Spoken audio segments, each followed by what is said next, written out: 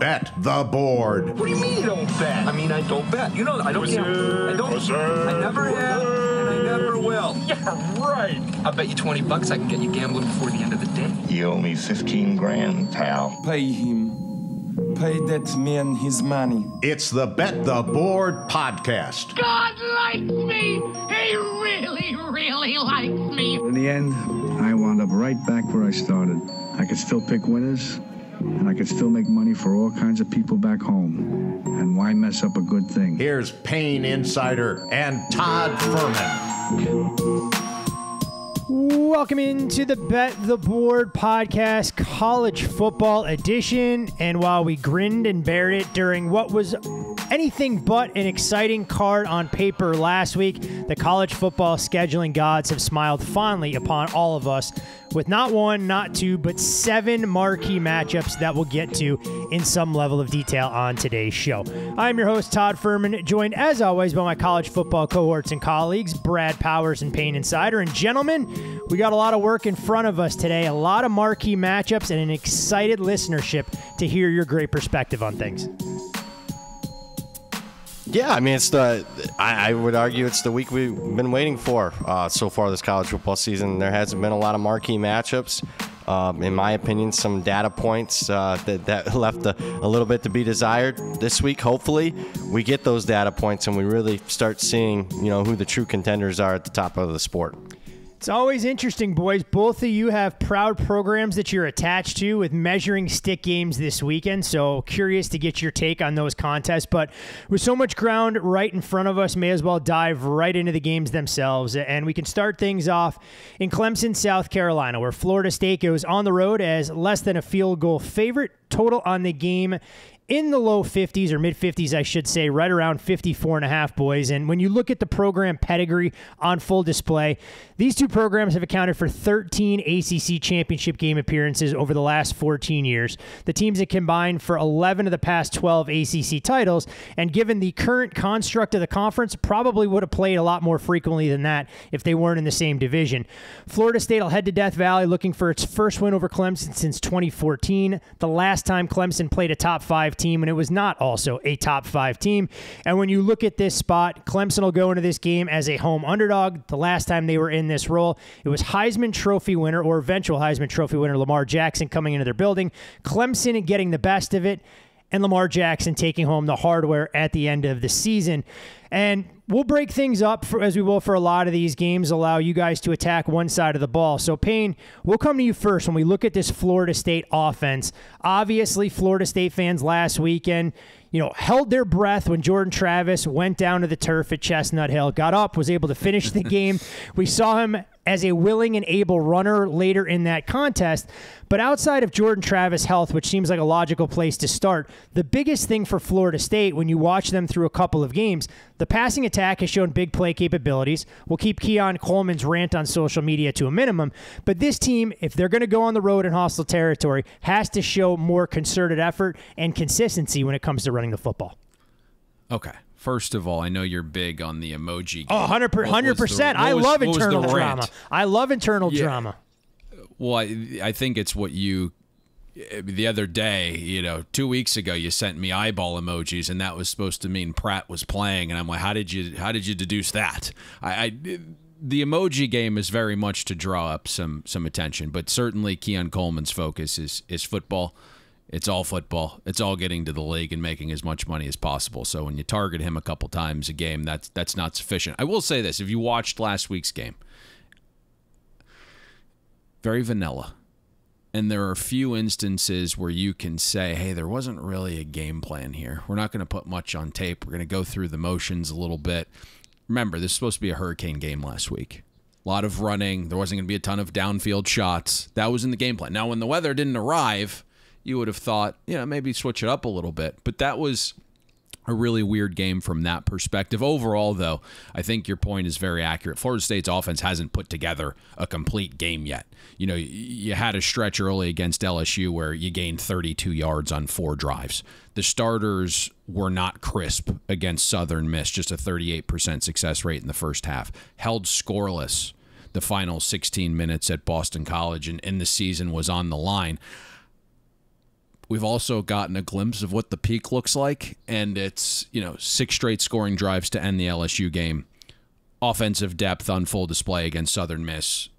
I think that was the first time FSU hung 60 points since the 2013 national championship team, and even though it wasn't Chris from the starters against Boston College, FSU scored 31 points their first 15 minutes of possessing the ball, despite you know the vast majority of the team, and I don't think this is being talked about. It's not an excuse. The vast majority of Florida State was dealing with the flu last week. If you watch them warm up, a lot of guys had masks on. Felt like at 31 10, ball at midfield, late third quarter, FSU starts thinking about Clemson a little bit. But there's there's some legitimate concerns here. I think you're still looking for an identity of what this offense wants to be. We know Mike Norvell wants to run the ball, but you can easily sit Jordan Travis back there uh, and shotgun and go four or five wide, and maybe that becomes what we could ultimately see. I think we made a point also about Florida State's offensive line heading into the season and all the experience in the top eight guys in the rotation combined for over 14,000 snaps. But I think the one thing I cautioned was sure that the floor is higher. What's the ceiling? There isn't a surefire early round draft pick in, the top eight guys along the offensive line. And I think one thing we did fail to mention altogether was was cohesion. Right, there are times where Bless Harris, Casey Roddick, Washington, Jones, and Byers are your starting five left to right. Those five had never taken a snap together prior to this season at those positions, and I think it's why FSU's having trouble getting push in the ground game to the level people expect. Last year it was 5.7 a carry. This year it's 5.4. Um, 37% of non-garbage time runs, basically, if you look at, um, was the rushing success against Southern Miss just 1.8 line yards created against Boston College. Now their front is a little bit better than people think it is. There's two guys along that D line that had some serious NIL interest from bigger programs, and Boston College was kind of able to to wade that off a little bit. Um, that's not going to cut it against Clemson's defensive front in a hostile environment. I think you need to see a little bit more of Markeston Douglas at the tight end and heavy formations to help the ground game. You need better from Trey Benson in the backs. I mean, Benson hasn't handled lead back you know, lead running back duties very well. He put on about seven pounds this offseason. Doesn't look like it's helped in the explosiveness. Still kind of pitter patties, you know, pitter patters too much. Um, I think we need to see a little bit more of Rodney Hill. Collectively, though, you know, Florida State's running backs outside the top 90 in missed tackle percentage force. I think they missed Treshaun Ward. That was something Brad and I talked a little bit about off air, eh, you know, this this off season. I think Florida State's going to need Jordan Travis's legs to be a, a, factor. You mentioned at the top dealing with a a non-throwing shoulder issue to my understanding not as much of an issue as as people were led to believe. You also think about how this game lays out. High leverage game. Probably a little more Jordan Travis running. Need to shoot it up a little bit. No biggie. By a week next week, Virginia Tech after that probably could win the Virginia Tech game by 10 if you throw Tate Rodemaker out there. So I think it's it's all systems. That might be the nicest thing you've um, ever said about Tate Rodemaker on this podcast. so you also saw him running late against Boston College. There was a short yardage situation. I believe it was third and six kind of puts his shoulder down and dips out of bounds, gained two yards, and was going to set up that fourth and four to go for it at midfield. And then they ultimately, I think, got a penalty and they had to punt.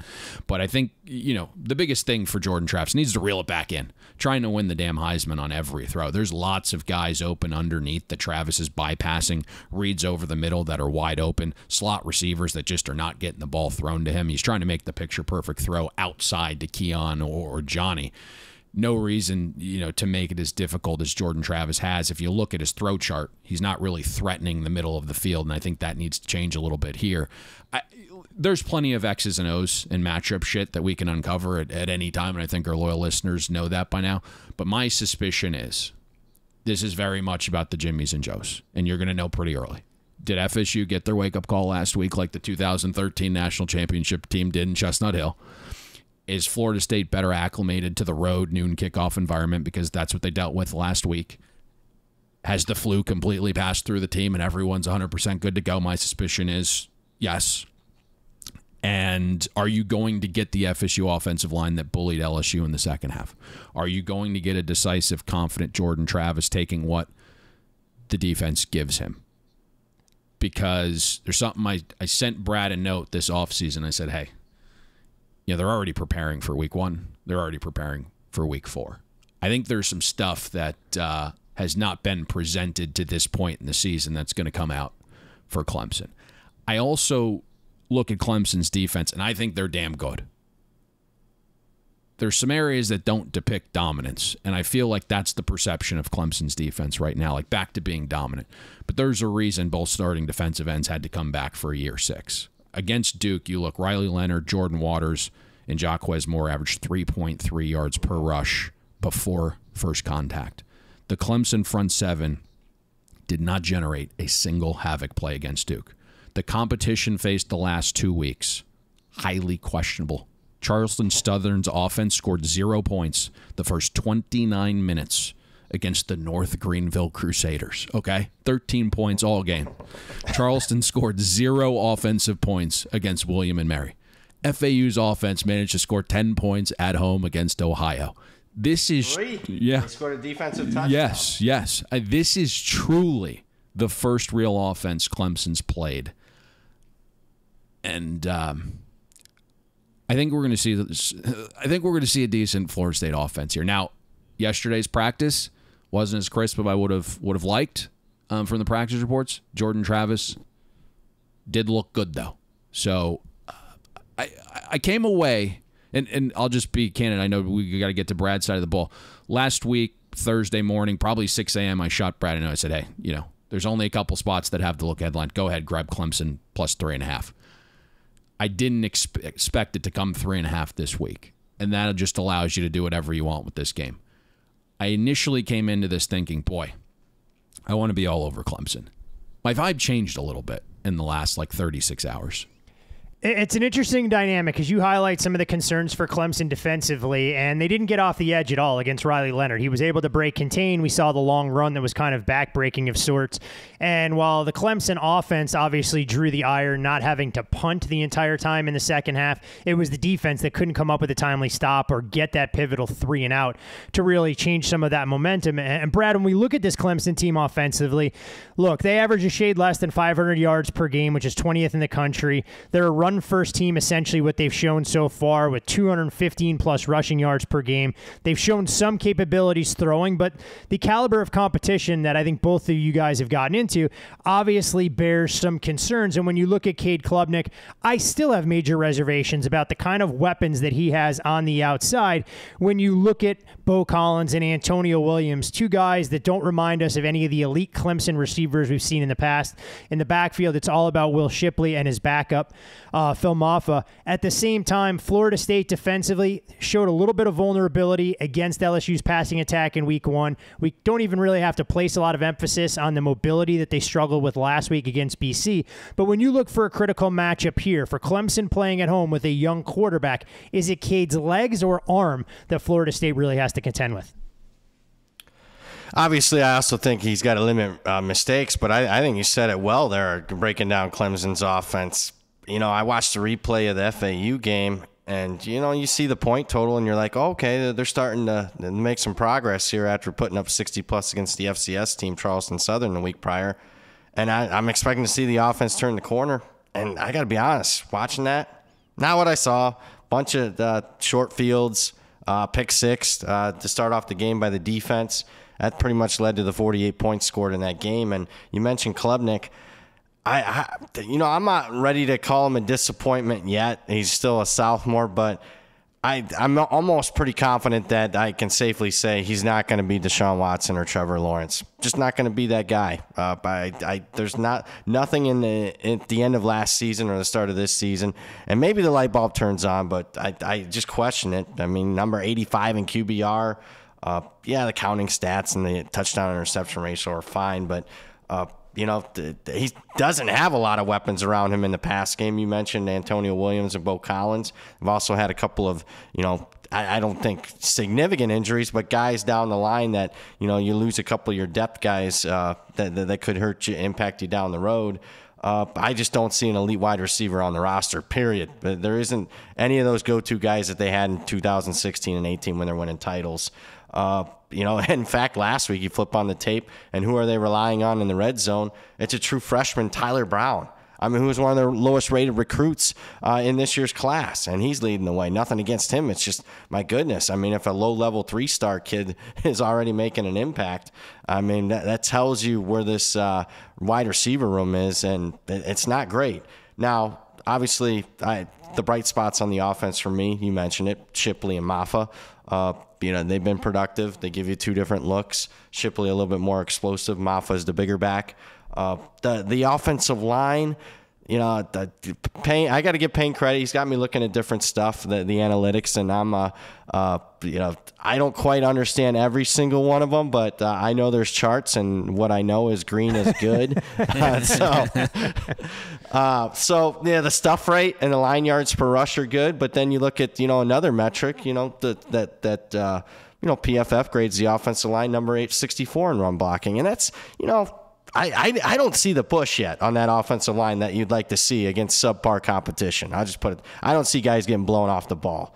Uh, and, and, I think the most concerning thing about Clemson's offense, and this even goes back to the Tennessee bowl game, the red zone number 115 in red zone offense. You got a kicker that's not very confident right now. It's missed three field goals. He missed an extra point last week in a very close game.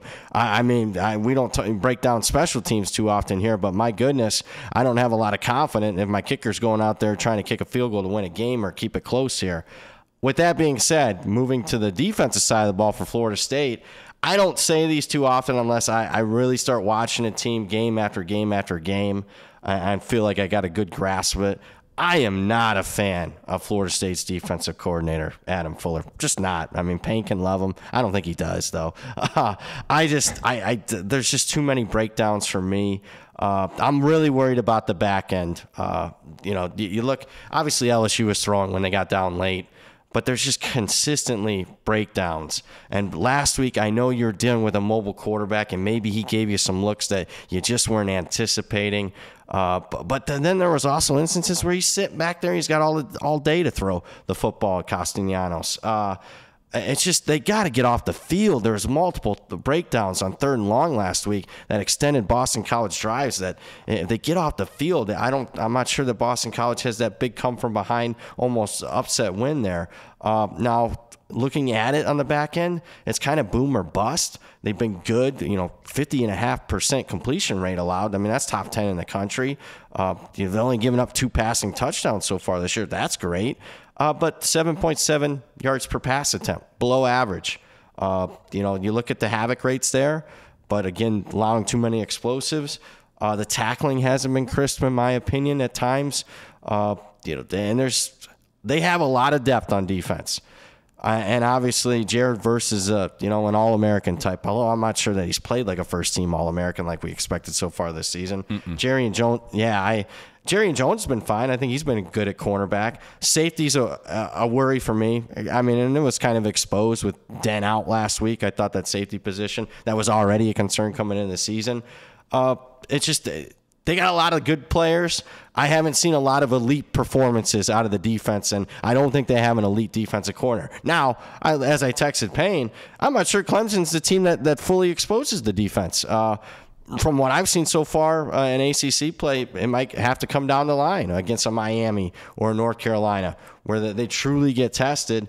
So uh, I'm intrigued. It's a very intriguing matchup because I would argue the two teams' strengths go up against one another the Florida State offense against Clemson defense, and the two teams' weaker units the Clemson offense and the Florida State defense. They get matched up with one another. So I just, I honestly think it comes down to what unit here uh, makes the least amount of mistakes, whether it's Florida State's you know lack of breakdowns or they you know they have some breakdowns on, on the back end, and, and we'll see if Klubnik c- can play a really clean game. I think I think that's a storyline here in this match. It's always interesting to see how these teams rebound and what kind of self scouting they've done. Obviously, when you look at the two teams, the best data point we have Florida State playing LSU in terms of them putting together uh, the better part of you know two and a half solid quarters and getting that win, and Clemson struggling mightily throughout that second half against Duke. Brad, you brought up the kicker for Clemson, and that was one of the more interesting stories digging into this game.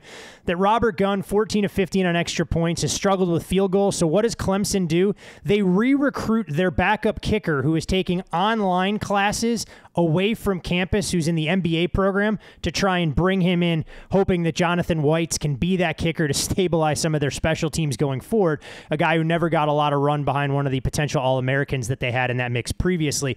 Last word to you on this game, though, Brad. When you look at these two teams and how you graded them coming into the season, how much adjusting have you done through the first couple of games that we've seen each team? Yeah, Florida State up two and a half points, uh, and Clemson down two and a half points. So this is a game where you know I didn't bet it in the summer, but there was showing some slight value to Clemson. I had them a little bit more than a field goal favorite in the summer. Now I got the game close to pick them, and kind of similar to to Payne's point on the game, I did bet the look ahead, the plus three and a half. I agreed with him. I just didn't think we were going to see that hook during game week, uh, and, and, did take advantage of that before, and tried to take advantage of it when I saw Jordan Travis down uh, in the first half to see if uh, some book was still stupid to, to have that line still up. They weren't, so credit to the book for for where, not having that up. Where do we think this Go goes? Ahead. A great question. Uh, We've seen a little bit of Florida State money. There was a little bit of Clemson, and then we've seen a little bit of buyback on Florida State. I don't think it gets to three, to be honest with you. Uh, if it did, I think there'd be a little pushback there. But uh, I, I, agree with your sentiments. I, I was thinking, all right, I'm going to like Clemson in, in this game as a home underdog, but I'm not there. I think it's a pretty fair number, to be honest. Yeah, I think you yeah, may that was, that was... see a couple of recreational books try and flicker a three, but to Brad's point, I have to imagine that as soon as they get out there, any of the value seekers will look to gobble up the home underdog in this spot. I would say, you know, Florida State really legitimately almost losing that game outright kind of prevented probably the love that we might have seen on a. I think there's a little bit of hesitation on uh, Florida State a little bit right now. It's always interesting, guys. For a game of this magnitude, clearly Florida State, by virtue of that week one victory, has bought themselves a little bit of wiggle room as far as the national landscape is concerned. Clemson, obviously, under the microscope, not just from a national championship as- aspiration, but obviously in the confines of the ACC, should they be able to bounce back, knowing they've been saddled with a loss against a league foe in the Duke Blue Devils. Uh, out west, we'll head to Salt Lake City, where a pair of unbeaten's will do battle at Rice Eccles Stadium. It's UCLA at 3 0, the Utah Utes with the same record. Very different in terms of what they've been able to accomplish resume wise, and that's part of the reason that you see Utah a four, four and a half point favorite total on this game at 51 throughout most of the market. It'll be homecoming in Salt Lake City. They're going to stripe the stadium, so it should provide quite the visual spectacle with red and white. When you look at UCLA, this is a program that's one in seven away from home against ranked teams since their last win in Salt Lake City eight years ago. The only win during that span was one of the more wild college football games. Some of the diehards will remember a 67-63 win up in the Palouse where they had to erase a massive deficit. When you look at Utah so far this year, the biggest question mark, gentlemen, has been about injury injuries. Kyle Whittingham talking how few players they had out of what he calls their core 36 available for an FCS in state rival in Weber State last week but it's more about the starting quarterback and will he or won't he be out there for Utah when they take the field this week against UCLA. We'll get to that side of the ball in a moment. But Brad, we'll start with you because UCLA has an elite quarterback in their own right that's really caught the college football world by storm. Chip Kelly may not have officially announced his starting quarterback yet, but everybody wearing baby blue and gold knows who gives them the best ceiling, and that's Dante Moore, who attempted just 12 passes last week against North Carolina Central to throw for 180 182 yards and a pair of scores. You look at his numbers so far, he's thrown a great deep ball, but you break down some of his spray charts, and this is a guy who relies heavily on throwing to the right side of the field. They've kind of shied away from letting the young quarterback throw between the hashes. In steps a Utah defense that we know has been stout historically, but hasn't exactly lived up to some of their high standards coming in. But for a game of this magnitude, a young quarterback against a veteran defense, how do you see this unfolding? Yeah, so Dante Moore uh, a unique recruitment for this true freshman. Uh, originally thought to go to Notre Dame. He's a five star kid out of Michigan. Michigan typically doesn't have a lot of five star quarterbacks out of the state. And it's funny, they're going to have three straight, it looks like, in consecutive years. But uh, so I was familiar with him uh, quite a bit. And then, you know, he goes to Oregon, and then Kenny Dillingham gets the Arizona State job, and then somehow, some way, in a shock to many, he ends up at UCLA. So very unique situation here. Uh, I, I mean, I bet you could have gotten 200 to one uh, at some point in his recruitment that that's where he'd finish up at. So, uh, what kind of quarterback is he? Uh, very accurate. Uh, you know, looks calm and collected. The moment so far hasn't looked too big for him, although this week. It might for a true freshman. I mean, I, am not sure a road uh, a road venue at San Diego State is, you know the the best uh, data point as far as how, how he's going to handle a big time road crowd. I watched that game, and the UCLA is not known to, to bring a lot of fans, but it was kind of a 50-50 situation there. Uh, what do I see? I'm glad you brought up because I, I didn't even I noticed it now that you brought it up, but yeah, they do throw to the right con- considerably for him. He's not going to a, a lot of reads. Guys are running open consistently and kudos for for Chip. I know a lot of people have said that he's lost his fastball and the game has caught up to him. I got to tell you on tape I mean, he's still pretty dynamic when it comes to play calling. I mean, they had a long touchdown run against San Diego State out of the T formation. Uh, I, I loved, I've loved what I've seen so far, although competition has been questionable to say the least. One of the guys besides Dante Moore uh, that that I've really liked uh, is the the Ball State transfer, and they said they scouted him from watching midweek MACtion football. So uh, everyone loves MACtion football, it looks like, but uh, to the detriment of Mac uh, with the transfer portal, up to the detriment probably of those programs. Isolated TV games during midweek, people are scouting your roster. So Carson Steele's looked the part. I mean, 8.1 yards per carry. They got another kid, T.J. Harden's been running in the open, 9.3 yards per carry for him. Uh, the stuff rate's good, line yards per rush are good good. Success rates on standard downs, passing downs, everything is good so far. But again, the, the, the opposition has been questionable. Another transfer that looks good for him J. Michael Sturdivant uh, from Cal, uh, he just pops on tape. I mean, he's got explosiveness at least so far, averaging t- more than 24 yards per catch. Uh, PFF has him one of the highest graded players, uh, so a lot of good. I mean, in fact, Dante Moore, even with 12 passing attempts, was the highest graded player in the Pac-12 on offense per PFF last week. Where are there some possible weaknesses besides Dante Moore and how he'll handle a road atmosphere? Yeah, the pass block grade's not great according to PFF. Uh, I haven't seen, you know, a, a team really test that offensive line to see if the, the, there could be some possible issues. I'm here to tell you they'll get tested. Uh, no matter who's out there on that Utah front, we even saw it against Florida. They're down several starters up front, and a guy like Jonah Elliss has a big game with a couple of sacks. Uh, Fano's got a couple of sacks on the year. This is one of the deepest and most talented defenses that Kyle Whittingham's had, and I, I thought they dominated Florida's offensive line uh, in that first game. It, well, when Florida decided to run the football, you know, they got down and Florida kind of abandoned it, so it was a little bit of a surprise there. But you know, field position, they just do what Utah normally does, the little things. You know, they've dominated field position so far. They've gotten good push. Uh, I just, you know, at every level, I think they have good, solid, you know, first or second team All Pac-12 type players. Lander Barton, highly regarded kid coming out of high school, one of their highest rated recruits. He was the highest graded player in the Pac 12 on defense last week. Cole Bishop has stood out to me. Um, really, in the Baylor game, I thought he had a good one there. If there's one weakness that I've seen a little bit, I expected a little bit better play out of the interior defensive line. They haven't had too many standouts there. And they also, you know, I, I'm talking about UCLA questioning their quality of competition.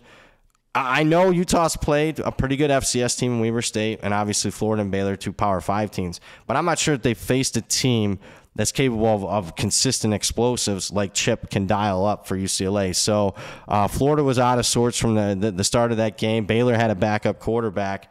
Uh, and even Weber State, if you're familiar with them, they rely more on their defense and offense. So I'm questioning, you know, what, what this, how good this Utah defense really is. The good thing is we'll find out, and uh, I think the more intriguing handicap is on Payne's side of the ball because I think if you got a feel for what's going to happen with the quarterback situation, you might be uh, getting in front of a, a significant line move. Yeah, it's always interesting, Brad, when you look at a young quarterback, even one that has a ceiling as high as Dante Moore, what Chip Kelly will elect to do in hostile territory. Because I think what you said is perfectly uh, accurate in terms of yes, he's played in a true road environment, but Snapdragon Stadium on a Saturday, even in prime time, nowhere close to what he's going to encounter in homecoming at Salt Lake City. And I think a lot of the casual college football fans, not those that listen to this podcast all the time, don't appreciate how difficult a building that can be to play in. It's not 100,000 strong in Salt Lake City, but they will come ready, they will come loud, and it's why Utah has been able to capitalize on that. But Payne, Brad mentioned the other side of the ball, and speculation continues around who the starting quarterback will be for Utah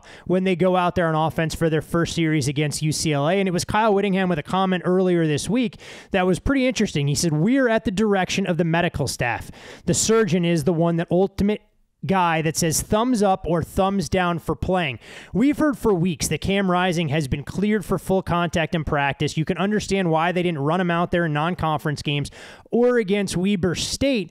But while the market suggests that he is going to be out there in a full capacity this week, we haven't seen Utah officially say Cam is our guy. He will be the starter. There will be no limitations on anything he's able to do. And until we know that, it makes the life a little bit more difficult knowing that Nate Johnson was the starting quarterback and took all the reps offensively against Weber compared to Bryson Barnes, who took the lion's share the first couple of games. I think there's lots of variance on this side of the matchup because of that. And you know, our understanding this was the exact game the Utes, Cam Rising, and Rising Surgeon, um, Dr. Neal ElAttrache, targeted for his return the entire offseason, right? The start of Pac 12 conference play.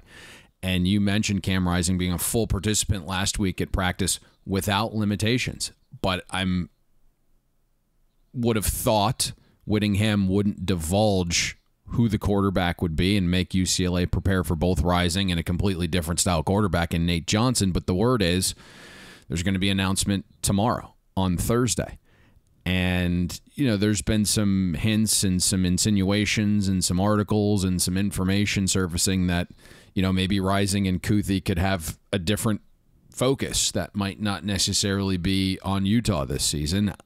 We'll see. Just we know at this point you know, Dr. Neal ElAttrache hasn't cleared either to play uh, game action yet. And, you know, he's, uh, to your point, the end all be all in this situation, we're told. Now, without, you know, Rising and Kuithe, Utah's offense hasn't been good.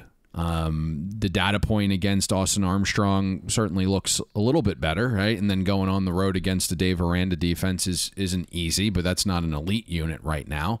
And you're just looking up front, that O line isn't getting much push. And that was a unit that Kyle Whittingham was talking about how much he loved this offseason, how they go 10 deep. But Utah ball carriers right now averaging just 1.7 yards before contact. There's been zero explosiveness to the Utes ground game, four runs of 15 plus yards on design runs, and known passing situations. And I think that's where they're missing Cam Rising you know, in a big way.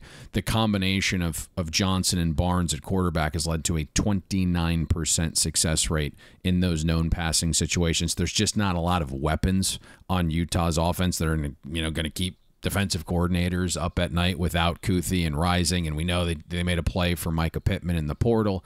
He's never really been that guy. He's a nice player, but you know, coming back from from you know a hip injury, got re-injured, you know, a couple games ago, and I just I don't see weapons there. I do think the second layer of variance here is is UCLA's defense, right? They made the coordinator change this offseason. They go to D'Anton Lynn, who comes over from the Baltimore Ravens. And if you read those quotes all offseason from players, the defenders were completely buying in to what Lynn was selling, right? The younger voice. The vibe was like players connected better, you know, with a younger former player than the last two defensive coordinators that that Chip Kelly hired.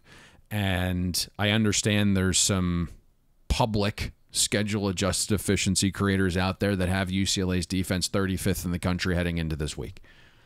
And it wouldn't stun me if UCLA shows well in this spot because of what Utah's offense has right now, especially if Cam Rising and Kuithe don't go. But for me, like UCLA at 35 is a bit high. I don't think you can go from 94th in our schedule adjusted metrics to 35th in, in one off season. And our preseason projection was in the 60 range for the Bruins. And I don't think UCLA has really been tested to start the season, right? I mean, North Carolina Central, a San Diego State offense that'll finish outside the top 100, yeah. right? Like Coastal Carolina's offense has some cachet, but they lost a lot from last season, including you know the mastermind behind the entire operation. And you look the first couple quarters against Coastal Carolina UCLA's defense allowed more than 50% of snaps to grade successful against a, a, schedule outside the top 100 so far this season. You know, you'd, you'd like to see better stuff rate, fewer explosive passes allowed. So, you know, QB, blocking, right? The weapons questions for Utah, the strength of schedule questions um, for UCLA's defense, not really fully allowing us to peg how improved that unit is. Brad said it perfectly. Like Utah's defense, we just kind of expect them to play to a baseline and have this very high floor, but they haven't been tested yet. So for me, um, there's a lot of variance in this game. It's why the totals sat right there around 50 and a half, 51, obviously a key number. I think this all comes down to the injury report. I don't really want to say too much, but it, to me, this game's going to be decided on the injury report and who plays and who doesn't. And that's really the the summation of this game. There's a lot of matchups that are interesting that are fun to talk about, but all of it uh, is secondary relative to to Cam Rising and Kuth. Well, I'll open. I'll fire back at the last point then, and neither you guys can take this. Then, and while we wait for the official status and determination of Cam Rising, and we look at the number with Utah a four four and a half point favorite, if Rising is upgraded, does this number go up? Do you guys believe that Rising's status as being seventy five to eighty percent likely to be the starting quarterback is baked into the number? I'm not worried about the total, uh, but in terms of the side, curious to get your perspective. Oh, I think it goes up uh, a couple of points. yeah. So yeah, I uh, could even touch seven. Uh, to be honest with you, I mean, you look at the look. It's an illiquid market, but uh, you know, the, the, the, there was a few books that had this game out in, in the game of the year markets, and it was uh, above a touchdown. I'll put it that way. Hey, it's a fair assessment, and obviously, we try and figure out the valuations of players who is going to be 100%, what they'll look like in their first game back, and more important, their overall availability. Should make for interesting viewing Saturday afternoon from Salt Lake City for two teams that obviously have aspirations of competing for a Pac 12 title. Speaking of the Pac 12, gentlemen, uh, all eyes will be on Autzen Stadium at the same time where the Oregon Ducks will welcome in the Colorado Buffaloes as three touchdown favorites in this contest. Total in the game 70 and a half. Never anticipated coming into the year, guys, that we'd be talking about Colorado nearly every single week on this fine show, but here we are. And lo and behold, the college football schedulers have decided next week when Colorado hosts USC, that game will kick off at 10 a.m. Mountain Standard Time uh, as Fox doing some finagling with their schedule, knowing the kind of draw that Deion has created. And when you look at the Buffs, they've lost 31 straight games against top 15 opponents dating back to a 2007 home win over Oklahoma. They're 2 and 30 away from Boulder against top 15 opponents this century, including 27 straight losses. When we look at Colorado's game effort last week against Colorado State, they scored on just one of its first 10 offensive drives before they roared to life down the stretch, putting points on the board in five out of their last six series. Guys, I, think it's all about the market. When we look at Colorado right now, we can talk about the X's and O's until we're blue in the face. But when we look at some of the pricing that's gone on, the first question, Brad, I'll come to you on. Travis Hunter not being available for the next two to three weeks. It's rare that we talk about a skill position player impacting a number, but Travis Hunter is unlike any other player when you talk about him being a cluster injury all by himself, given the snap distribution we've seen 149 on offense, 180 on defense, 10 on special teams, 339 in total, which is the most in FBS through week three. Yeah, so I'm pretty conservative. Uh, I would say if you're not at least downgrading Colorado's team power rating a point, I think you're doing yourself a disservice. I mean, I could be talked into even more than that, which is considerable. I mean, for a non-quarterback to to move a needle uh, like that, but you know, he's obviously very talented. He's outperformed expectations so far, uh, and the, it's not only him playing both ways uh, at a pretty good level, but it's also Colorado has depth issues, and that was always a concern with this team. You uh, you saw. The, the, the starting 22, you were like, wow, the, the starting 22 is pretty capable. They're much improved, but if they had any attrition, that's when you know Colorado 2022 might start showing. Uh, so yeah, I think I mean, I downgraded him a point for that, but also obviously downgraded him significantly off the Colorado State uh, performance. Payne, as far as the market and the way that they've handled Colorado, clearly odds makers have been scrambling every single week. When you look at where Colorado has closed versus what the final scores have indicated, they go into week one against TCU as a 21 point underdog. They win that game by three, so you're talking about a 24 point differential there. They close minus two and a half against Nebraska, win that game by 22, so nearly a three touchdown differential final score uh, to where the betting market closed. And then last week, theoretically, odds makers are the closest they've been because Colorado wins by eight. They close as a 23 point favorite, but it would have been the widest margin had Colorado State been able to come up with a late stand on defense. And you'd have been talking about a 30 point variance. And we've seen it just week over week. When we broke down a game, potentially looking at Oregon in a spot, look ahead numbers were 14, 14 and a half. Here we are now with the Ducks installed as a three touchdown favorite. Yeah, I mean, we don't have to belabor this point, and I think we all understand that Colorado's record is better than expectation through three games. They certainly deserve to cover the number against TCU. Whether they deserve to win that game, you know, two turnovers in the end zone inside the five, and then you win the the roll of the dice on the fourth down variance game winning touchdown. You struggle mightily early against Nebraska. Had they had any competent play at quarterback, that game's probably a little different because Nebraska is going to quiet that crowd because it probably should have been 10 nothing Nebraska to start that game. And then last week, obviously, Colorado State pissed down their leg and, and blew a double digit lead late in that game. So I think, you know, we understand Colorado has, has exceeded expectations. I, I, think we all understand there's four to five guys on this Buffalo's roster that are impact players. So we've upgraded Colorado to a point that makes us uncomfortable, even with the downgrade last week. You know, but but there were look headlines under two touchdowns for this Oregon game last week. There were reopens this week below 17. All prices substantially lower than what TCU laid week one against Colorado, and, and Oregon would be about a two touchdown favorite hosting TCU right now. So again, like I, I don't think the the look ahead or the reopen price made a ton of sense. We're a little higher on Travis Hunter's worth. We actually made it two points to the spread, wow. right? One and a quarter on defense because he has been a shutdown corner, three fourths of a point on offense. That's probably you know, maybe too aggressive. But when you put the number in context, right? Like Colorado right now is surviving because it has an NFL quarterback, likely the third quarterback taken if Sanders comes out in the 2024 draft.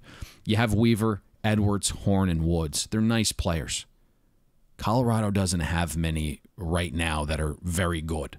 So I think you always have to have a little bit of art in some of your player projections because to me, Travis Hunter's worth far more to Colorado than if he played at Georgia, right? That just basic math. I don't know. I've, I don't and, know. I've watched that Georgia offense so far this season. Travis Hunter might be the most dynamic playmaker they could have down there in Athens. Oh, I, I think he is, but the drop off, yeah, no, right? for like sure. Who's the next guy, right? Deion, you know, something we said you know, I kind of threw in a little jab there, and it really wasn't. It was just a piece of information, right? Everyone sees Cormani McClain, five star cornerback, and you know, Deion gets asked the questions like, well, "Where's Cormani? Is he gonna?" He was always as raw as raw gets. He's going to take some time. He's not going to be a guy you slip in there. And you think about who's starting opposite of Travis Hunter on defense. To Marion Cooper couldn't get on the field at Florida State this year. It's why he transferred out. So that's your lead corner now. And in a game where you have Bo Nix and this very explosive offense, right, that's a little bit troubling. We already think the defense has some holes and some issues. And I'm going to be interested to see something. And I think it's going to be very telling for this game. And maybe I'm overthinking it. Think about all three weeks leading up. Deion's been been quite loud, right? Everything's personal.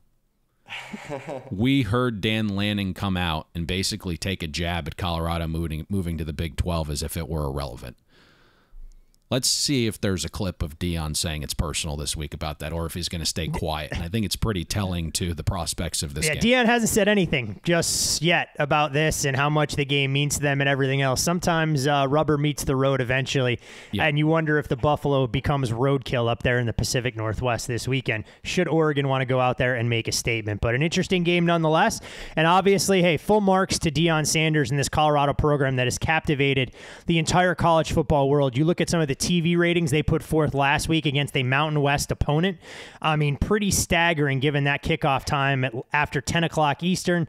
Now, the one thing I would suggest to the folks in Boulder, you may want to clear out the sidelines a little bit. The attendance there, it looked like there were more celebrities than Colorado football players, and they had about six inches of space every time they came to the sideline. But Colorado, clearly one of the biggest watches in college football, and that most likely won't change this weekend when they get their first true test against the Oregon Ducks.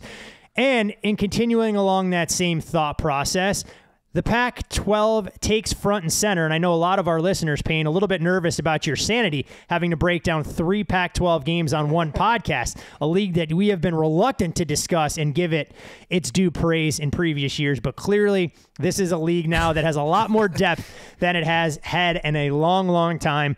And this game may fly under the radar, but may arguably be the most exciting from a pure football standpoint. Oregon State goes up to the Palouse to take on Washington State. It's the Oregon State Beavers, a field goal favorite. Total on the game up a touch from 56 to 57 and a half. When you look at the 108th meeting between these two programs, this will be the first time that they've ever played where both teams were ranked. The first since 2017 where either of these programs walked into this matchup ranked. You look at Oregon State, 14 straight road losses to ranked teams dating back to 2012, a win at then number 19 UCLA.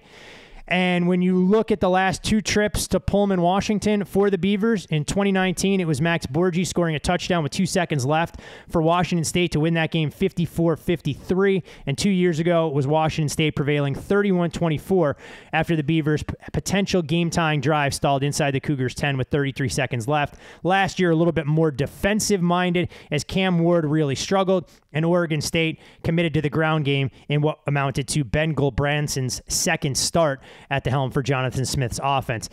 Payne, when we look at the Beavers' offense this year, we knew coming into the season it was all about the DJU redemption tour, but that Oregon State wasn't going to change its DNA. This was a run first offense. Jonathan Smith had instilled that blue collar work ethic in terms of the building blocks up front, and it was going to go where Damian Martinez and Deshaun Fenwick could take them.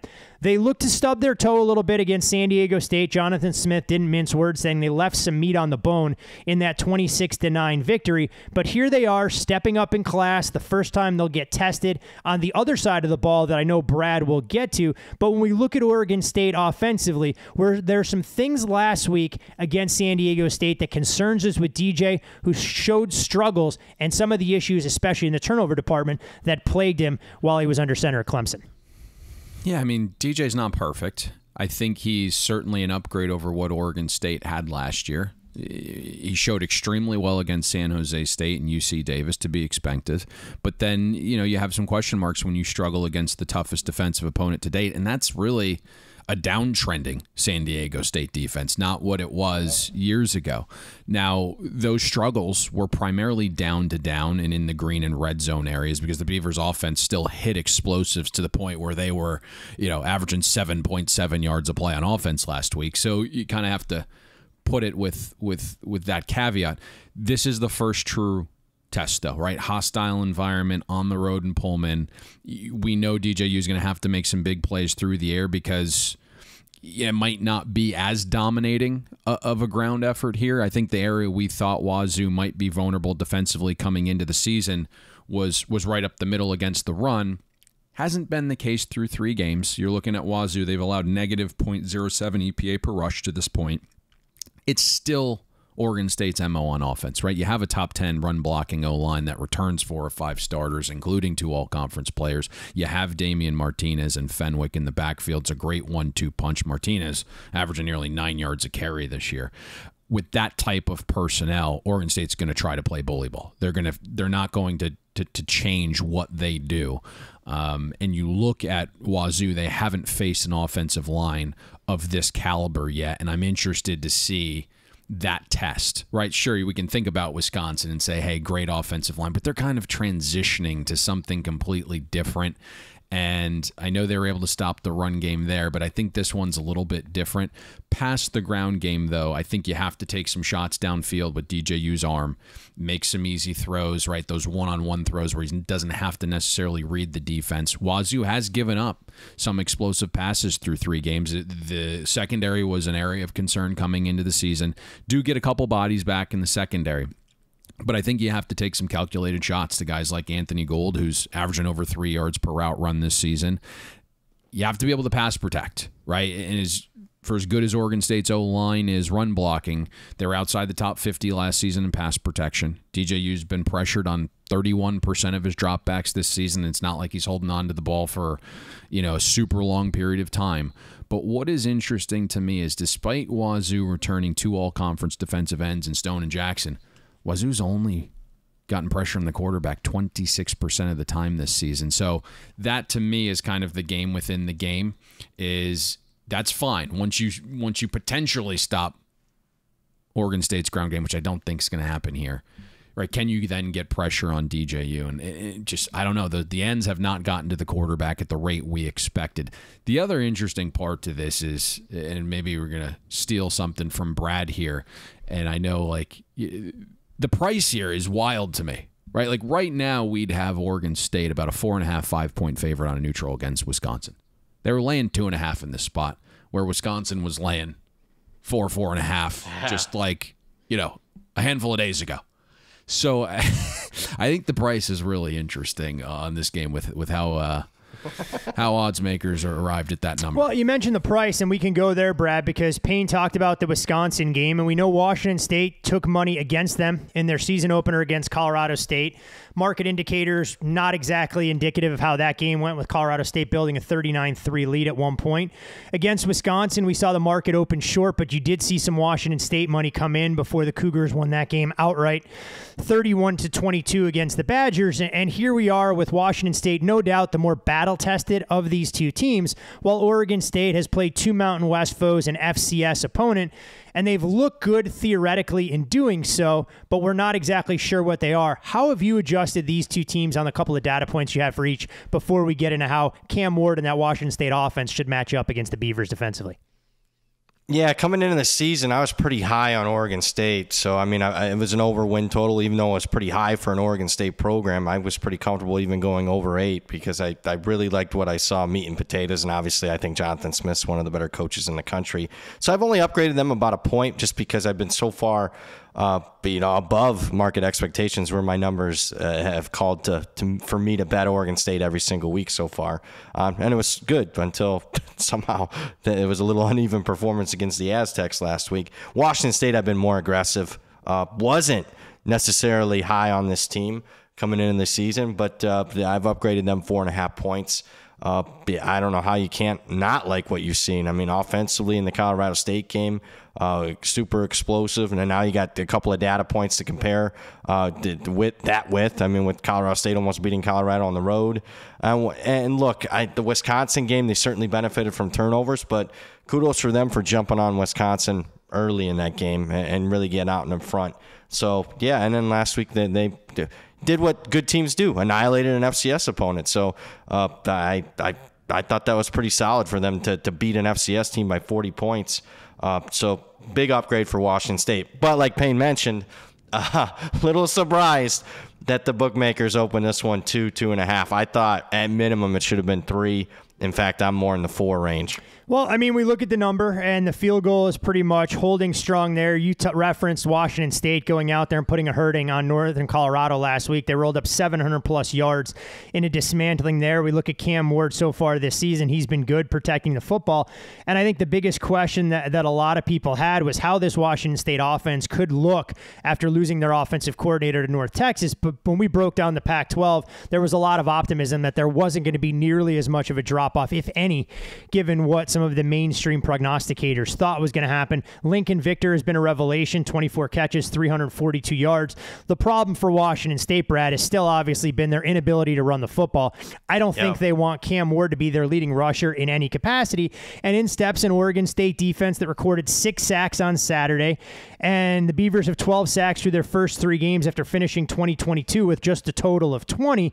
Now, the sacks resulted in 50 yards lost in rushing the way college football calculates it. When you look at true rushing, San Diego State did have some success. They gained 120 yards on 28 carries for more than three yards a tote. But the biggest question I think all of us had about Oregon State defensively coming into the year was their secondary. You look at the first three opponents, none of those teams could test that defensive backfield. In steps Washington State in familiar surroundings. How do we see things playing out with Oregon State's defensive front? Are they able to minimize some of the time Cam Ward can have in the pocket? Because he should have a decided edge throwing against what appears to me on paper to be the biggest weak link for Oregon State defensively.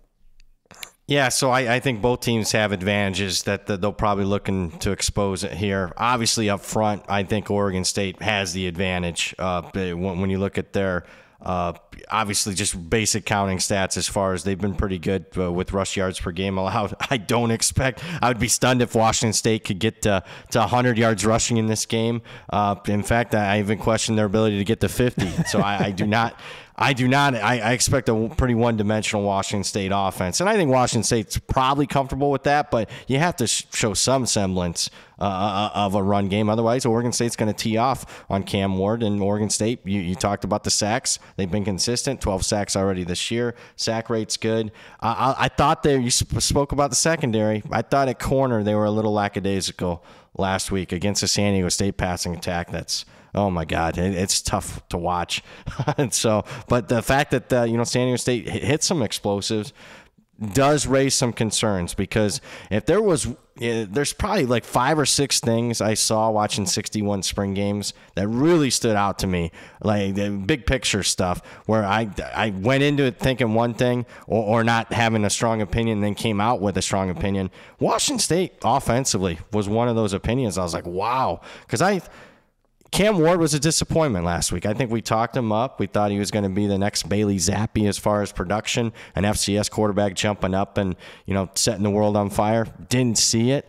Uh, he is now. I'm wondering if we were a year early, and I think a lot of it has to do with their new coordinator, uh, Ben Arbuckle, 27 years old. I didn't know much about him. How could you? He's only 27. Uh, but man, what I saw in that spring game was for a team with a brand new coordinator and three new wide receivers, all transfers.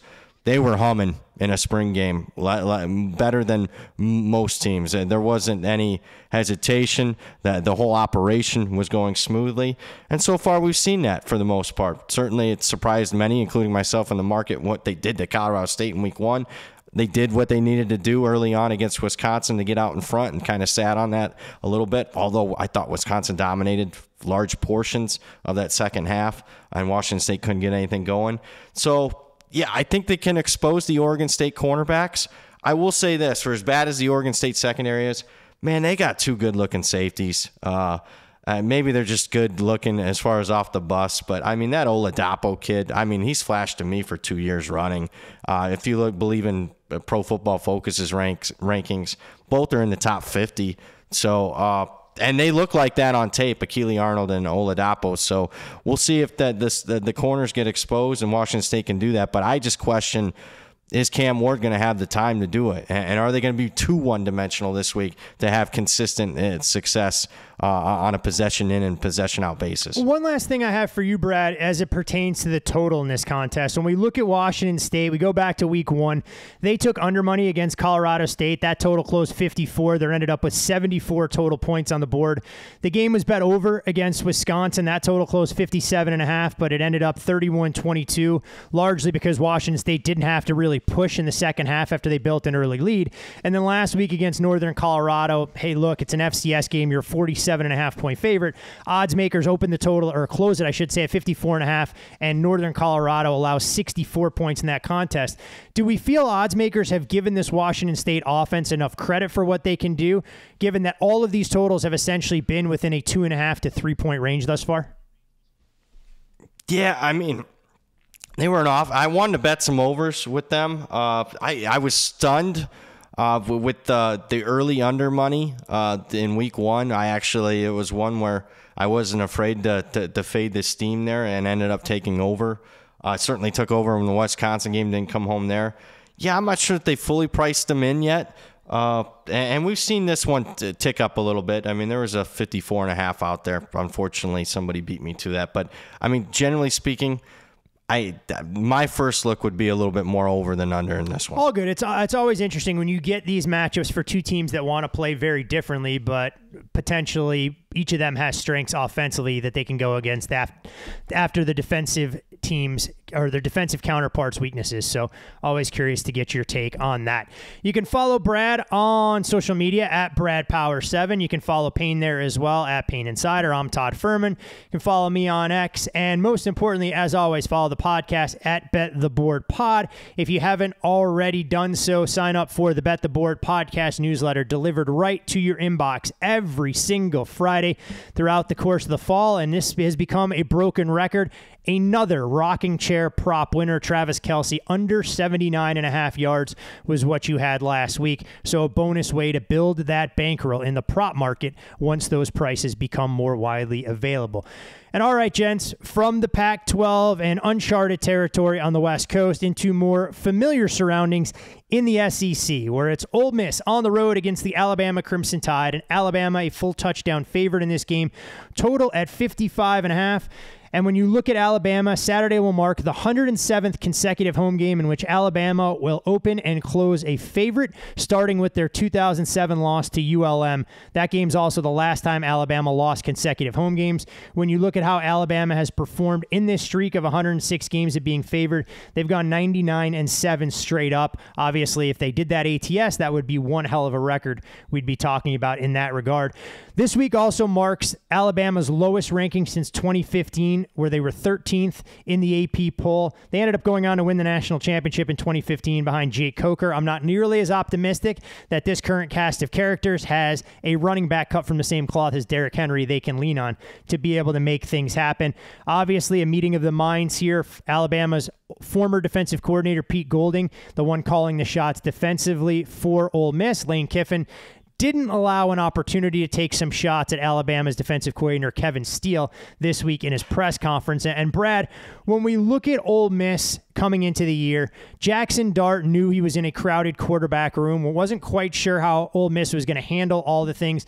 Dart has distanced himself from Spencer Sanders and Walker a Little. The team averages more than 52 points per game, fourth in the FBS, number one in the SEC. They ran the ball for 299 yards last game, albeit with an asterisk given the last 37 yard carry, which may or may not have sat real well with me as a Georgia Tech backer. uh, Jaxson Dart, though, tied for the FBS lead, averaging 12 and a half yards per attempt. It puts him in rarefied air alongside Caleb Williams. But for all the success that Ole Miss is having offensively, one thing has really stood out, and that's Quinshon Judkins struggling to get things going, whether he's the one that should be bearing the weight of responsibility on his shoulders or it's the offensive line. When you look at Ole Miss and the way they want to attack Alabama, does Lane Kiffin trust Jaxson Dart to be the difference maker with his arm, or is this still all about Ole Miss and their ability to run the football against this Alabama defensive front? Well, I mean, I think you can use Jaxson Dart both uh, in the pass and run game. I mean, they have so far. He leads the team in rushing. I don't know if that's ideal, and you can do that uh, throughout SEC play, but so far, I mean, he's been explosive 6.7 yards per carry. Uh, and Quinshon Judkins hasn't been explosive so far. Now, some of that he wasn't healthy last week, and there was questions on whether he was going to play or not in that game. One of the reasons why you have a Georgia Tech ticket in your pocket, if you're if you're, if you're anybody last week, it seemed like everybody did. Uh, somehow, some reason, Payne and I talked. Those don't always come home. Uh, the, the, those can be tough sometimes when every everybody's one side there and, and everything lines up. Uh, but it, I think some of it depends on is Judkins fully healthy uh, th- this week. I seem to think that that'll be the case. He was kind of a surprise uh, player taking reps last week, so I, I would think that him being healthy, that they should lean on him a little bit more than what they have. They also, speaking of health, uh, I mean, Tre Harris and, and Prieskorn, uh, the wide receiver Tre Harris, uh, who's been dynamic the first couple of games of the season 23 and a half yards per catch, five touchdowns. Prieskorn, uh, a transfer from Memphis that they really loved uh, during spring, and really, he was one of their, their top offensive performers. Uh, both of these guys practiced last I looked on Monday, so expected to be healthier. This is at least the healthiest they've been since the start of the season. I have I'm not a big Jaxson Dart fan. Getting back to the quarterback but he has certainly looked improved. I mean, he's number 11 in QBR. He's taken care of the football so far. Uh, you look at the completion percentage, touchdown and reception ratio way up. PFF has him number nine in the country. Again, he's getting explosives and leading the team in the run game. Uh, run blocking hasn't been great, so it's it's kind of been him. Uh, his ability to make those plays have kind of over overshadowed uh, what could get exposed here. That Ole Miss offensive line, uh, the rush explosives are below average.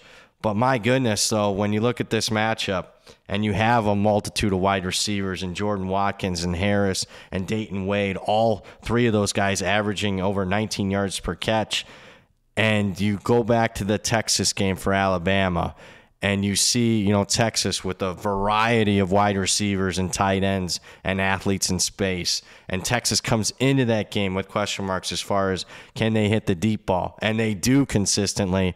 I would like to think that there's going to be some opportunities here for Ole Miss to have success against Alabama's defense uh, as far as explosives, big pass plays. And I'll tell you another thing. I think they can. Uh, Jaxson Dart's going to have some explosives in the quarterback run game because I got to tell you, last week you pop on the tape. I know the counting stats are going to look good for Alabama's defense, only allowing three points against South Florida.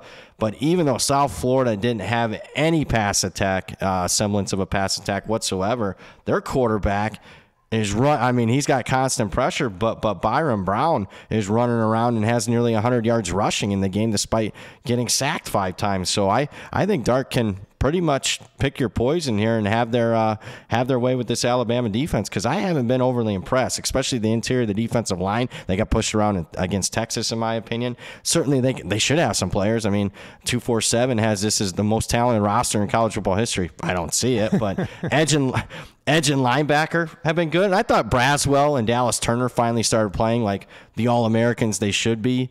Uh, last week they really flashed, but you should at South Florida for Pete's sake. Uh, the thing that worries me a little bit, Kool Aid at cornerback has been a disappointment. I mean, you would expect him to be an elite ball player. Hasn't been the case. They're relying on a true freshman and Caleb Downs on the back end at safety. They had to get some transfers. Obviously, they knew they had some problems at safety. And post spring, they had to get two transfers there. So a smart play caller like it's Steve Sarkisian took advantage of that and really got after the true freshman Caleb Downs in that game. I would like to think that Lane Kiffin would do the same here. So uh, I, if you're asking me what what unit has the advantage. I think Ole Miss's offense has the advantage in this matchup. Payne, when we go to the other side of the ball, obviously Alabama's offense isn't lighting the world on fire either. And if Brad highlights some concerns he has for this team defensively, the betting market suggests that Alabama's offense may need to be better and more dynamic than what we saw in that 17 point outburst. And of course, I use that term facetiously last week in, T- in Tampa against USF. And, and, Nick Scarborough of ESPN had an interesting line in his article. And, you know, I can read it straight. He says receivers aren't creating enough separation. The offensive line is allowing too much pressure in the backfield. Getting a snap from center has turned into an adventure rather than a formality. The running game is inconsistent at best. Players across the board are committing too many penalties. And and the offense as a whole doesn't appear to have a sense of identity or direction. If I'm reading that as a synopsis for the way a team is played, I think a lot of people go, okay, he's talking about Western Michigan or he's talking about Kent State. Not exactly a reflection of what we've grown accustomed to from Alabama, but the Tide did come to their senses and go back to the most dynamic playmaker they have on the roster under center in Jalen Milroe. I know we all joked about Tommy Rees must not have watched Tyler Buchner in practice when they were both in South Bend together and expect him to suddenly have a revelation just because he changed the color of his jersey. But for Alabama offensively, do you see a way that they can attack Ole Miss's defense that has a good defensive line, but you do have some question marks about how this team could perform on the back end? Yeah, I, I you know, overarching Alabama fans might not realize this yet.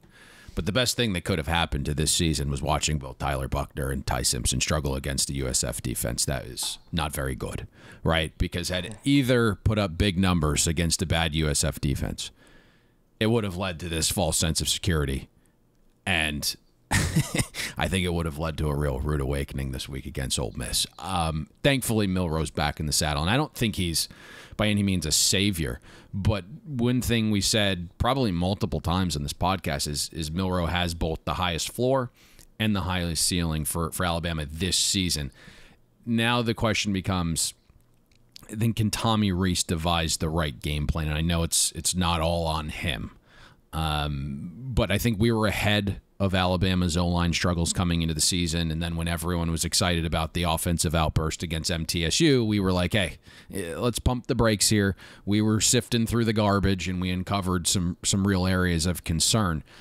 If I'm Tommy Rees, I think a few things have to happen to get this offense at least respectable big men up front need to be challenged. I don't care about the age or the lack of experience. There is just far too much talent along Bama's O line for some of these numbers to be transparent. 37% of runs stuffed through three games, only 31% of rushing yards before first contact, zero push. And this might be the worst pass protecting unit uh, in the Nick Saban era. I mean, 118th in the country in sack rate allowed. When defenses send blitz against Alabama, they've turned it into a sack 32% of the time. There's just too much talent for this poor of a product. And my understanding is maybe there was a challenge given because there was a players only meeting that transpired this week. Yep. Let's see if if that unfolds into anything because you know there was some some disgruntled players um, at the quarterback shift last week. So I, I second thing I think that's really important here is like once you insert Jalen Milroe, his greatest ability is obviously the combination of the size, the speed, the athleticism the best way to help an offensive line is create that extra man advantage in the box by letting your quarterback run the ball. Milroe's averaging 9.2 yards a carry on designed runs. The problem is Tommy Rees has only dialed it up five times in two games for Milroe. Final thing I think Tommy Rees has to do is just make the pass game for Jalen Milroe ABC one two three paint by number. You cannot have Milroe in the shotgun think he's going to read a defense perfectly pre snap, go through all the progressions post snap, and deliver the ball on time and accurately to the intermediate parts of the field, right? Tommy Rees is doing everyone a disservice if that's what he's going to ask of Jalen Milroe. This Bama pass game needs to be wide receiver and running back screens, quick slants, one read bootlegs with an option to take off if it's not there. And if Ole Miss loads the box because they are now playing with this new four down front, then Bama has to has to hunt the deep shot. We know Milroe has an arm cannon. We've seen the added touch and arch to the ball. Jalen Milroe right now, 147 rating on throws, 20 plus yards, seven big time throws, not a single turnover worthy throw on deep shots. And you have to allow him to take those. You just can't ask him to do all the difficult things.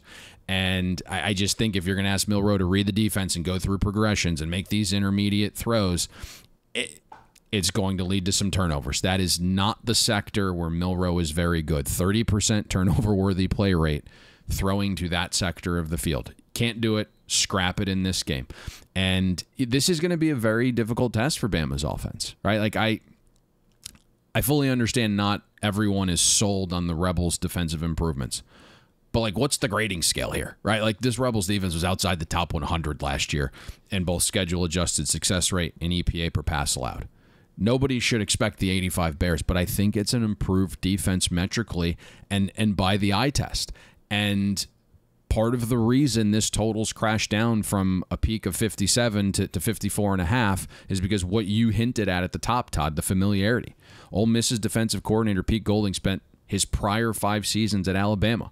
And remember something we said earlier this season about Tommy Rees taking over the Alabama OC job. Alabama does things completely different. They weren't going to run the Tommy Rees offense. Tommy Rees had to learn and run the Alabama offense. And because of that, I think Pete Golding should be far more familiar with Alabama's offensive looks in this game. Well, you took me exactly the question I was going to ask who gets the edge in that particular matchup? But I think you outlined it perfectly and succinctly in terms of how you're going about trying to assess some of the things that we've seen, given the level of familiarity there. So, Brad, I'll come to you for the last word on this particular game. As far as Ole Miss and Alabama, from where you had them rated coming into the season, I know the Crimson Tide took a ton of money from professional bettors under their win total when that number opened. At last check, the adjusted win total for Alabama was eight and a half, and I can't remember ever seeing one that low since Nick Saban had this program built up. What have you done with both of these teams, knowing that Alabama clearly has a, an issue, or excuse me, they have a data point that we have concerns over with that loss to Texas. Whereas Ole Miss, they go on the road, they beat Tulane and a backup quarterback there. They get outside the number late against Georgia Tech, but we haven't seen Ole Miss truly pushed by a team in their class. Yeah, so uh, Ole Miss, despite three and zero oh against a number with a cover margin of two touchdowns per game, barely an upgrade, uh, half a point for them because I think they're extremely fortunate to be 3 and 0 against the number. Uh, you know, I'm glad that they are because we had a best bet on this show and we had great information on that game against Tulane, but the reality was they were outplayed a majority of that game against Tulane team with a backup quarterback. That final last week very misleading. 27-17 middle of the fourth quarter. Somehow it's 48-23 final. Uh, so because of the last two weeks, I haven't been super aggressive upgrading Ole Miss's power rating.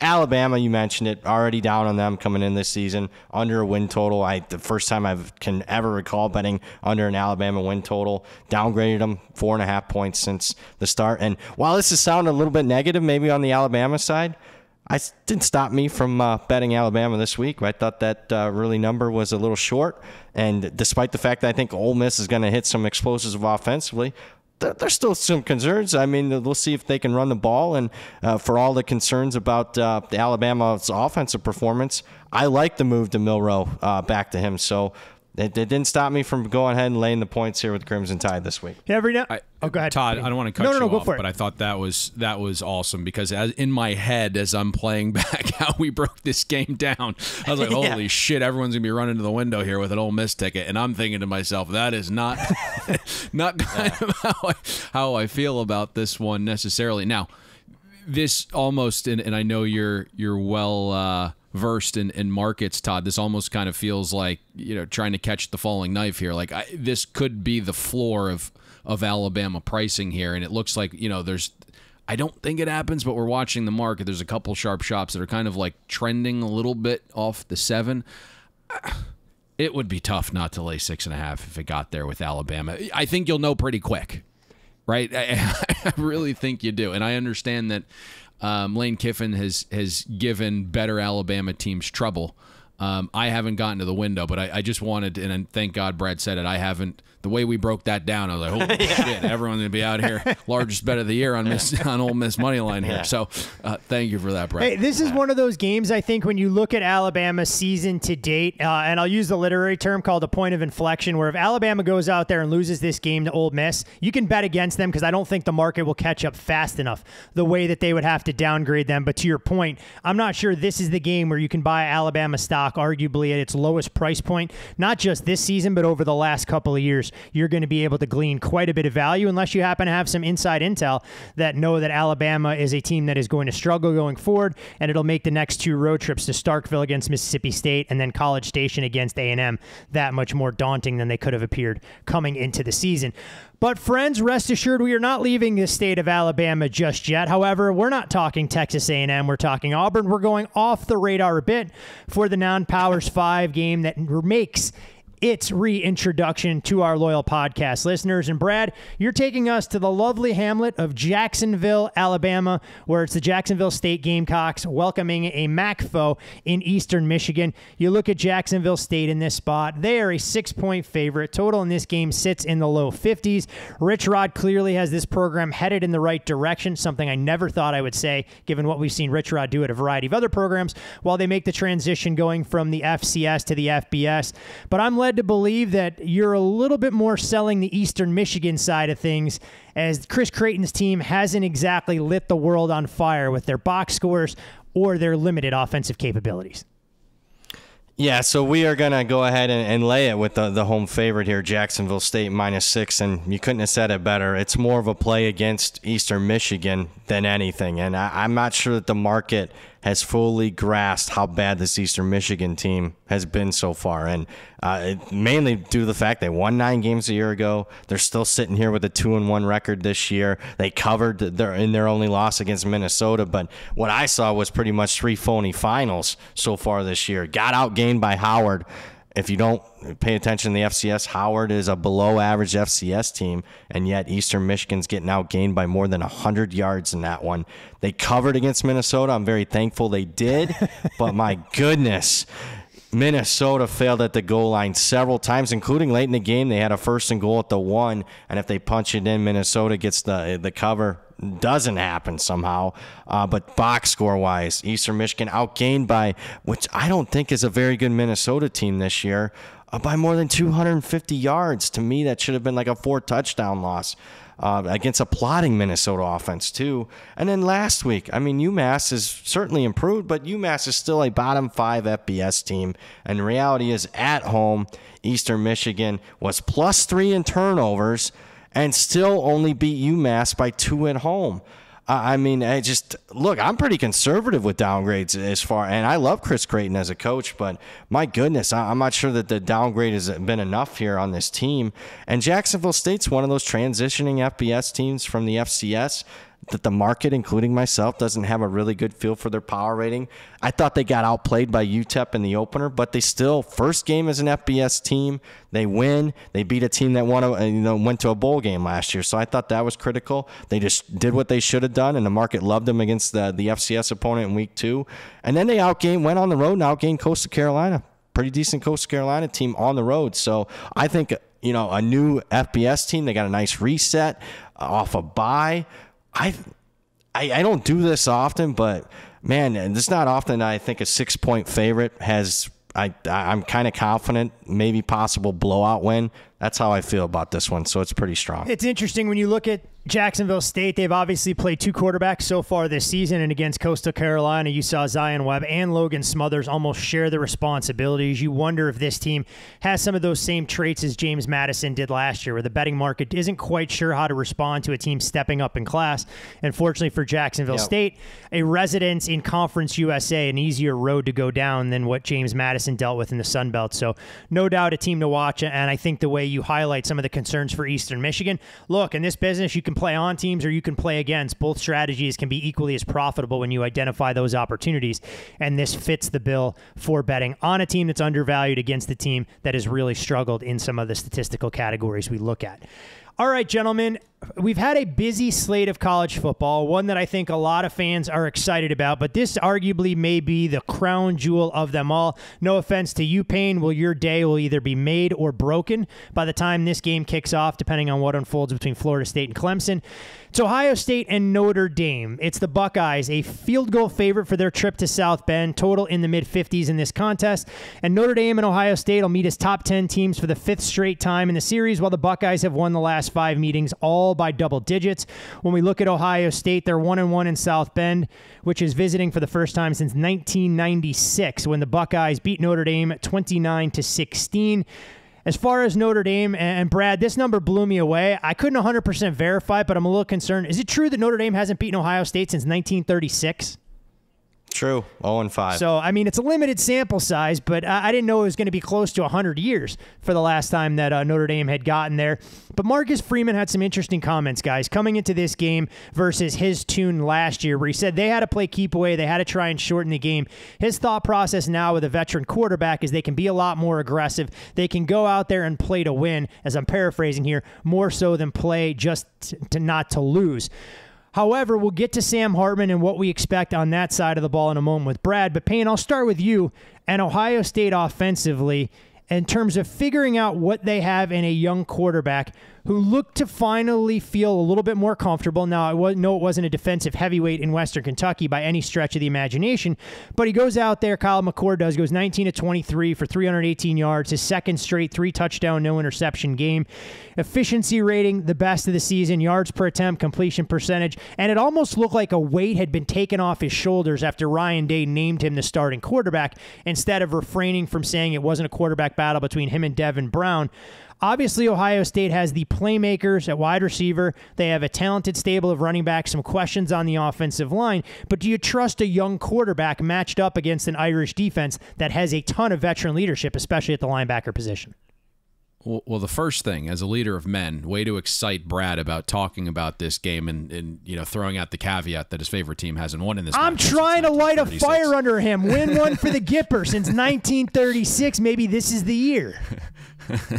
so you know, offensively for Ohio State, and and you're looking at this side of the matchup. I think there's a lot of projection and opinion built into to this side because of what Ohio State's offense lost at key positions and what Notre Dame's defense lost along the D line, and neither have really been tested so far this season. And you know, Ohio State's offensive line, we projected to take a significant dip this season. You, you lose the second overall pick at quarterback and both starting tackles. And that's showed pretty true to this point that that there should be a downgrade here. You just look at some of the performances, very methodical in the opener at Indiana. Too many drives stopped before they actually got going. 40% of Ohio State's drives were three and outs against the Hoosiers. Didn't get a ton of push against Youngstown State before garbage time, just a 38% rushing success rate with that three headed monster in the backfield. It just doesn't pass the sniff test to me. And I know, you know, what you said at the top there about folks talking about Kyle McCord's confidence now being named the full time starter and he doesn't have to look over his shoulder and he can play more freely.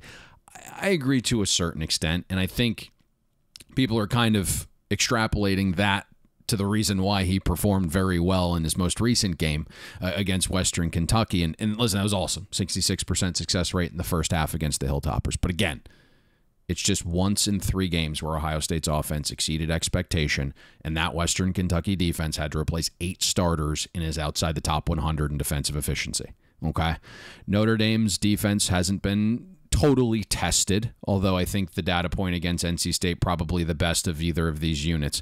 Um, you obviously had the entire offseason to prepare for an option offense in Navy. CMU's offense is outside the top 100. NC State you know, hostile environment, had to deal with some starting and some stopping due to, to weather conditions on the road, which is, you know, kind of a, a, mental test there. But NC State doesn't have a ton of weapons, and my suspicion is the Wolfpack offense finishes outside the top 50 this season.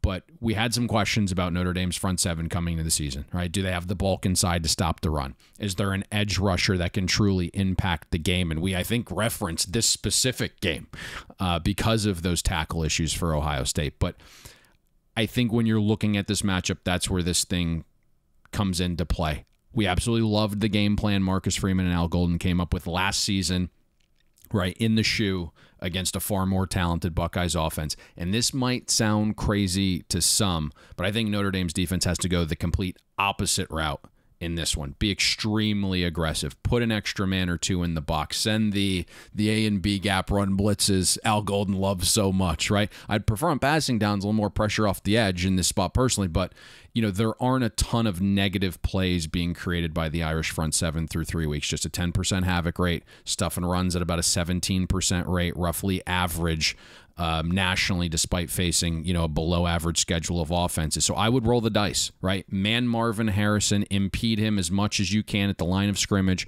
Force McCord to look elsewhere right away because if you look, McCord wants to get rid of it quickly. 2.3 second release time when he's kept clean, and then provide some help over the top on Harrison. But get that initial jam on him so it forces McCord to be out of rhythm some and, and make him read a different area of the field. It sounds scary, right? Man in the, the Buckeyes receiver group so you can put more bodies in the box. But I think this needs to be the game where Marcus Freeman forces Kyle McCord to beat the Irish downfield. If at the end of this game, Notre Dame loses a grinder because Ohio State was able to run the ball, that's a fail to me. You have to make Kyle McCord show he can be the man. And and you look against two horrific defenses and one downtrending Indiana defense. Kyle McCord is 11 for 29 on throws 10 plus yards downfield with one of the country's best receiver groups. And over 10% of those 10 plus yard throws by McCord, they've been deemed turnover worthy. I just think in the biggest game of Kyle McCord's life to date, force him to beat you. And if he does, you, you just tip your cap and move on. I mean, Payne, look, if Ohio State has concerns about their starting quarterback, clearly the Irish should see their veteran starter as a step in the right direction and give them more stability at the position. It's obviously why you go out in the transfer portal, you bring in Sam Hartman to win games of this magnitude.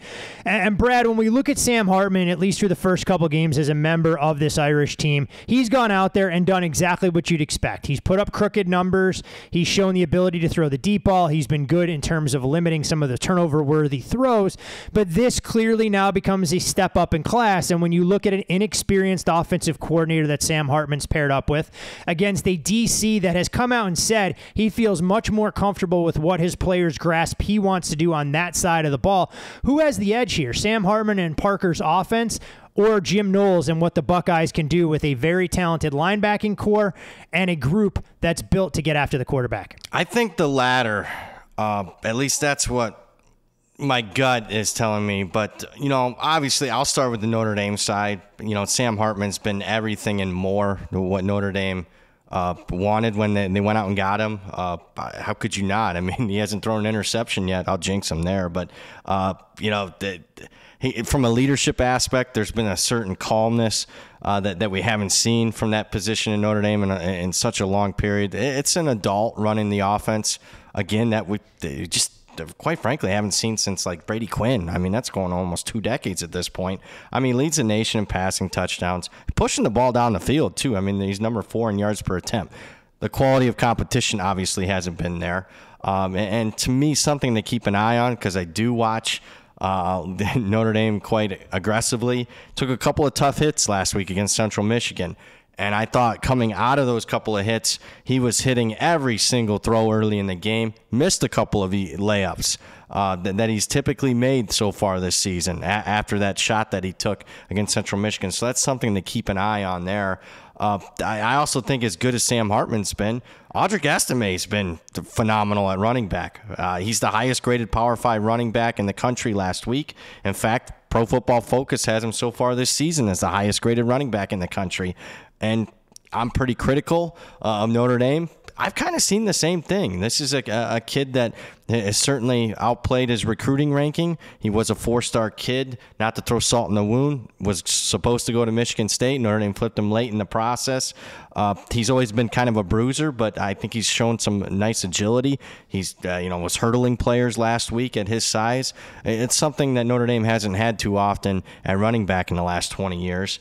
Uh, they do have a deep running back core. I talked about this in the Week Zero podcast, and they haven't been afraid to, to, to use those three other backs. Uh, three of them have 15 or more carries. I do expect that they'll be cautious and see a lot of Estime in this game. I'm not sure if they trust the, the, the freshman at running back yet in a matchup like this some concerns here. As good as the numbers have been so far from the Notre Dame offense, since I do watch it with a fine tooth comb, I, am really concerned about that interior of the offensive line. Guard, center, guard. To me, the rushing explosives haven't been there. Uh, I, I, think there's a, an opportunity that Ohio State can have some success. NC State, you go to that game, they had four sacks against the Irish.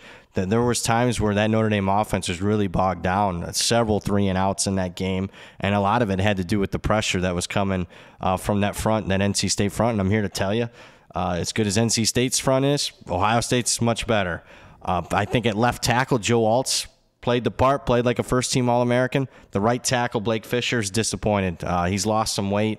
I, I mean, jokingly, I, I liked fat uh, Blake Fisher more than I, I do slim. Uh, he doesn't have that same punch or push that he had last year. So I'm concerned. You would think Notre Dame football, all offensive line be fine. No, I mean, that's one of my biggest worries of the game. Tight ends and wide receivers have sur- surpassed expectations. I think it helps when you got a really good quarterback throwing you the football and not making mistakes and, and throwing you open. Uh, they again, they haven't been tested that, that, that, that much where they will this week. Uh, Chris Tyree's probably been a revelation. I mean, it's not easy to transition from running back to wide receiver, and he's you know, averaging 27 yards per carry. Finally getting him out in open field where he can show off his speed. Uh, Holden Staes at tight end, uh, athletic kid, not going to wow you in the run game, in my opinion, but. Uh, that they've used him well. I, you talked about the Notre Dame off OC. I mean, Parker was kind of panned as a OC. So far, so good. I think there was a hire that was made that kind of, you know, for all the concerns there were, were about Parker, Gino Guidugli as a quarterback coach, a guy that has coordinator experience, uh, I think has been a, a, pretty good addition that people nationally haven't talked about. You see him on the sidelines. He's constantly got the entire offense around him. He's kind of a calming factor uh, compared to what they had under Brian Kelly and Tommy Rees. Uh, a little bit different personality there. And it shows up, in my opinion. There isn't as much panic on the sidelines and discombobulation that there's been here in recent history. With that being said, I think one of the major stories that's probably not being talked about in college football. Again, they haven't played anybody, but I I'm buying into the Ohio State defense being improved, and they've been improved. I mean, since they the bottom fell out in 2020, they've improved every year, and obviously this year. The, the counting stats are there uh, as far as they've taken that next step uh, in a second year defensive coordinator. And to me, it starts with if you follow recruiting, couple years ago, Ohio State signed their best recruiting class in school history. And a couple of the highest rated kids on that recruiting class were a couple of edge rushers. And to me, now that they're juniors, they're starting to come into their own. Jack Sawyer and JTT uh, really got after Western Kentucky last week. Uh, combined 13 quarterback pressures between the two. The pass rush grades were there. Uh, so if you got two edge rushers like that that are playing up to their five star top 10 overall player in the country ability, they're going to be tough to block, even when Notre Dame has an All American left tackle. Uh, Tyleik Williams on the interiors played well. Steele Chambers and Tommy Eichenberg have so much experience. Now, can you win the national championship with those two? Maybe.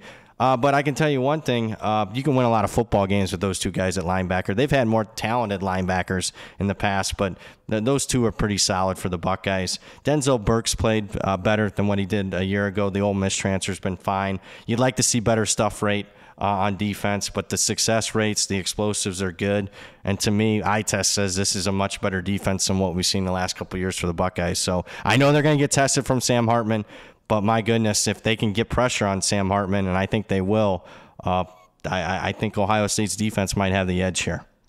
Look ahead number, Brad, on this game during the summer when it was first available had the Buckeyes as a full touchdown road favorite in this spot. Have you seen that much from either of these two teams that we should be adjusting all the way down to another key number in a field goal?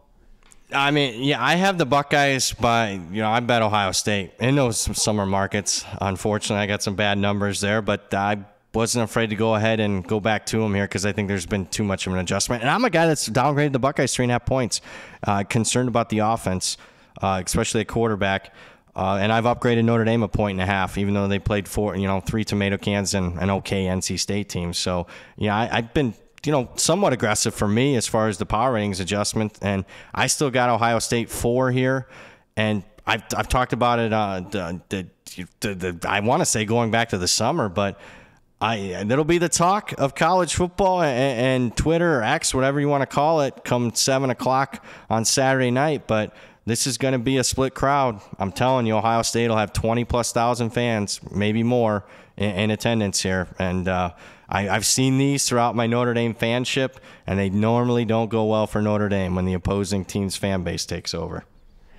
Hey, we know the Scarlet and Gray will travel in full force to South Bend to watch their team uh, in the shadows of touchdown Jesus against the Fighting Irish. And clearly, these two teams, with a win here, can really make one of the first major statements in terms of their ability to lay claim to being a legitimate national championship contender. So, three hours after kickoff, we'll have a pretty good indication of exactly which program will be headed in the right direction and which one will have a little bit of soul searching still left to do.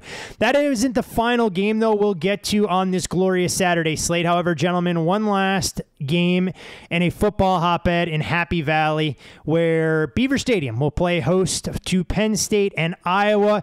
It's the annual whiteout game. Penn State more than a two touchdown favorite. Total on this game sits at 40.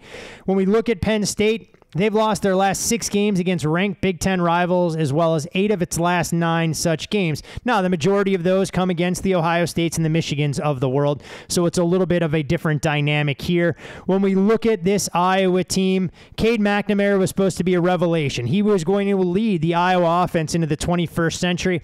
Not quite sure we're giving a full passing grade, despite Coach Ferentz running up the score last week against Western Michigan to keep his son Brian ahead of their pace for that 25 points per game threshold he needs to keep his job. When we look at Penn State, 9 0 1 against the number over their last 10 games. It's actually the longest active streak in the FBS without an ATS loss. This, however, will be the largest spread between these programs since they met in 2017 and the biggest number that we have seen in quite some time between these programs. Brad, this Iowa offense, it was supposed to be new, it was supposed to be explosive, they were supposed to have playmakers. The more I watch Iowa offense, I realize a tiger can't change its stripe, and it's it's the same old thing. And it's going to get to be more difficult knowing that they lost their top tight end to a broken leg. They're down some depth in their backfield. And when we look at Cade McNamara, he hasn't exactly looked like he's taken the next step in his evolution as a quarterback when it comes to some of his decision making against the lightweights thus far in Iowa's schedule. Yeah, so I'm getting ready for this deep dive podcast. Uh, obviously rewatch a lot of the games uh, to, to see if I can find something uh, quite noticeable that, that maybe can give us an edge or at least something to think about down the road or matchup specific. I got to tell you, of all the games I watched in prep for this podcast this week, the thing that stood out to me was Cade McNamara's health or lack thereof. I mean, he does not even look close to 100%. I'm not some trained professional, but my goodness, I mean, his knees look like they're ready to buckle at any time when he's trying to be mobile in the pocket. Uh, he can't. It doesn't look like he can get everything in, in, in, you know, everything into a throw. I mean, I think that's part of the reason why, you know, it wasn't accurate even against a, a Western Michigan defense that leaves a lot to be desired. I mean, number 116 in QBR, 53.5% completion percentage. 5.9 yards per attempt. So not only is he not completing passes, he's not pushing the ball down the field. So my goodness, I mean, a 21% success rate on passing downs, pathetic. Uh, there's also not many rushing explosives, even though I've kind of liked what I've seen from a couple of the, the running backs. Uh, Leshon Williams looked good, 9.1 yards per carry. Patterson, to me, flashed against Iowa State. Moulton Kid had a couple of touchdowns against Western Michigan last week, a freshman. Uh, there's some things to like, but there's nothing really to like about the Iowa passing attack. And, and with Lachey out at tight end, obviously that, that's going to leave for a bigger role for Erick All, uh, the, the Stilianos kid. But man, Lachey was their leading pass receiver. You know, even missing most of the Western Michigan game. The receiving grade pass routes are terrible, not even the top 100 uh, in PFF. There's not a single wide receiver on the roster that would scare me if I'm Penn State. So obviously we're, we're going to be talking about, uh, in my opinion, a Penn State team that's going to load the box here, to say the least, and that they can play pressure, man coverage on the outside. Uh, can Iowa's offensive line hold up? Yeah, I mean, that's been a positive. I think their center's really good. In fact, Logan Jones was the highest graded Power 5 center last week. The guard positions have been better, in my opinion, than tackle positions. So we'll see. I mean, I think that's the major question mark. Can Cade McNamara not make critical mistakes. Uh, how much pressure is he going to see? Uh, I think he's going to get a lot because, I mean, Penn State defensively, Manny Diaz might not be a head coach, but he's doing a good job here. The havoc rates are good on all levels of the defense. Success rates good on all downs, standard downs, passing downs. Uh, they're getting after the quarterback 10 sacks. They're allowing less than 55% completions. They have given up some explosives, but again, I'm not sure you're worried about explosives when it comes to Iowa.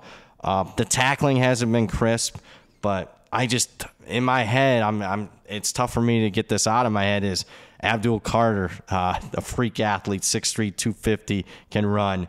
Uh, Isaac on the edge, Dennis Sutton on the edge against an immobile quarterback. I don't see a pathway to, for success here for Iowa's offense.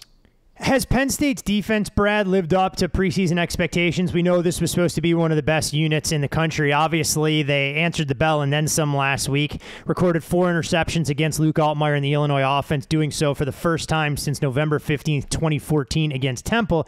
And we saw how effective they were creating those short fields, allowing the offense to turn those into points. This probably, as you said, won't be the offense that can test them. Uh, but has Penn State, at least to the eye test defensively, been what you thought they were going to be? Coming into the year? I'm not sure yet. I'm not sure we're going to know yet. I mean, you look at Iowa this week, at Northwestern next week, by UMass, and then the Buckeyes on October 21st. So you're going to have to get back with me in about a month from now. uh, but yeah, I mean, they looked the part physically. Uh, I w- there's some concerns. Interior defensive line uh, is still a concern for me. Uh, you know, they did lose some guys in the secondary. Again, they haven't been tested yet, so I'm not sure. I mean, West Virginia is not good offensively, so man, it, it, it's kind of sad state of affairs that you got to wait till late October to really get a good feel. it seems to be the case for a lot of these power programs, yeah. unless they want to schedule an elite non-conference foe or kick off conference play a little bit earlier uh, than they normally do. Penn State offensively, Payne, this is a team that scored 30 points against Illinois, meaning that Penn State has now scored at least 30 points in 10 straight games. It's actually the nation's longest active streak. They lead the Big Ten in turnover margin at plus seven and is the only team in the Big Ten without a turnover thus far.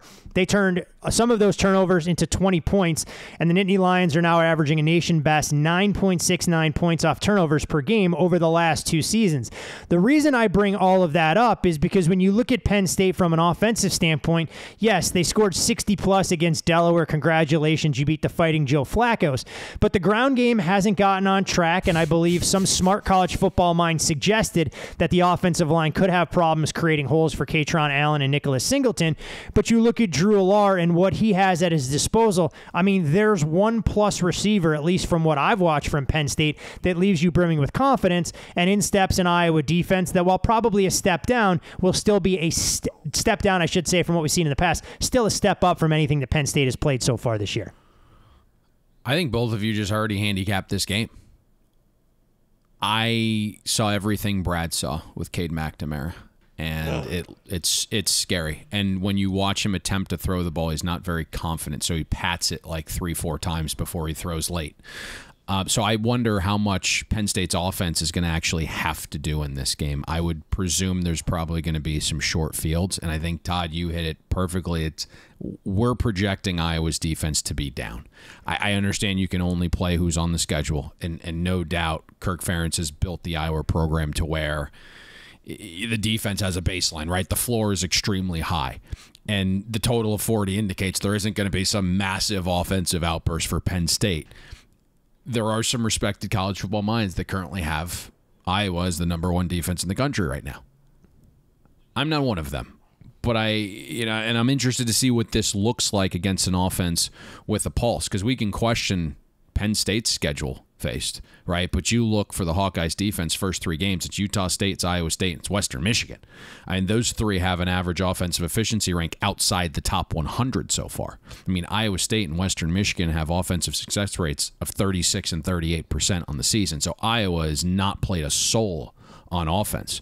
And you look through each of the first three games with kind of a, a fine tooth comb, right? There's sectors in each of the first three games where Iowa's defense looks like it's lost two of the top 18 picks in the NFL draft and one of the more decorated corners in the Big Ten the last few seasons with third round pick Riley Moss gone as well. I mean, Iowa's front seven only created a 6% havoc rate the first two games of the season. In the opener against Utah State in the second half on standard downs, Utah State had a 60% success rate.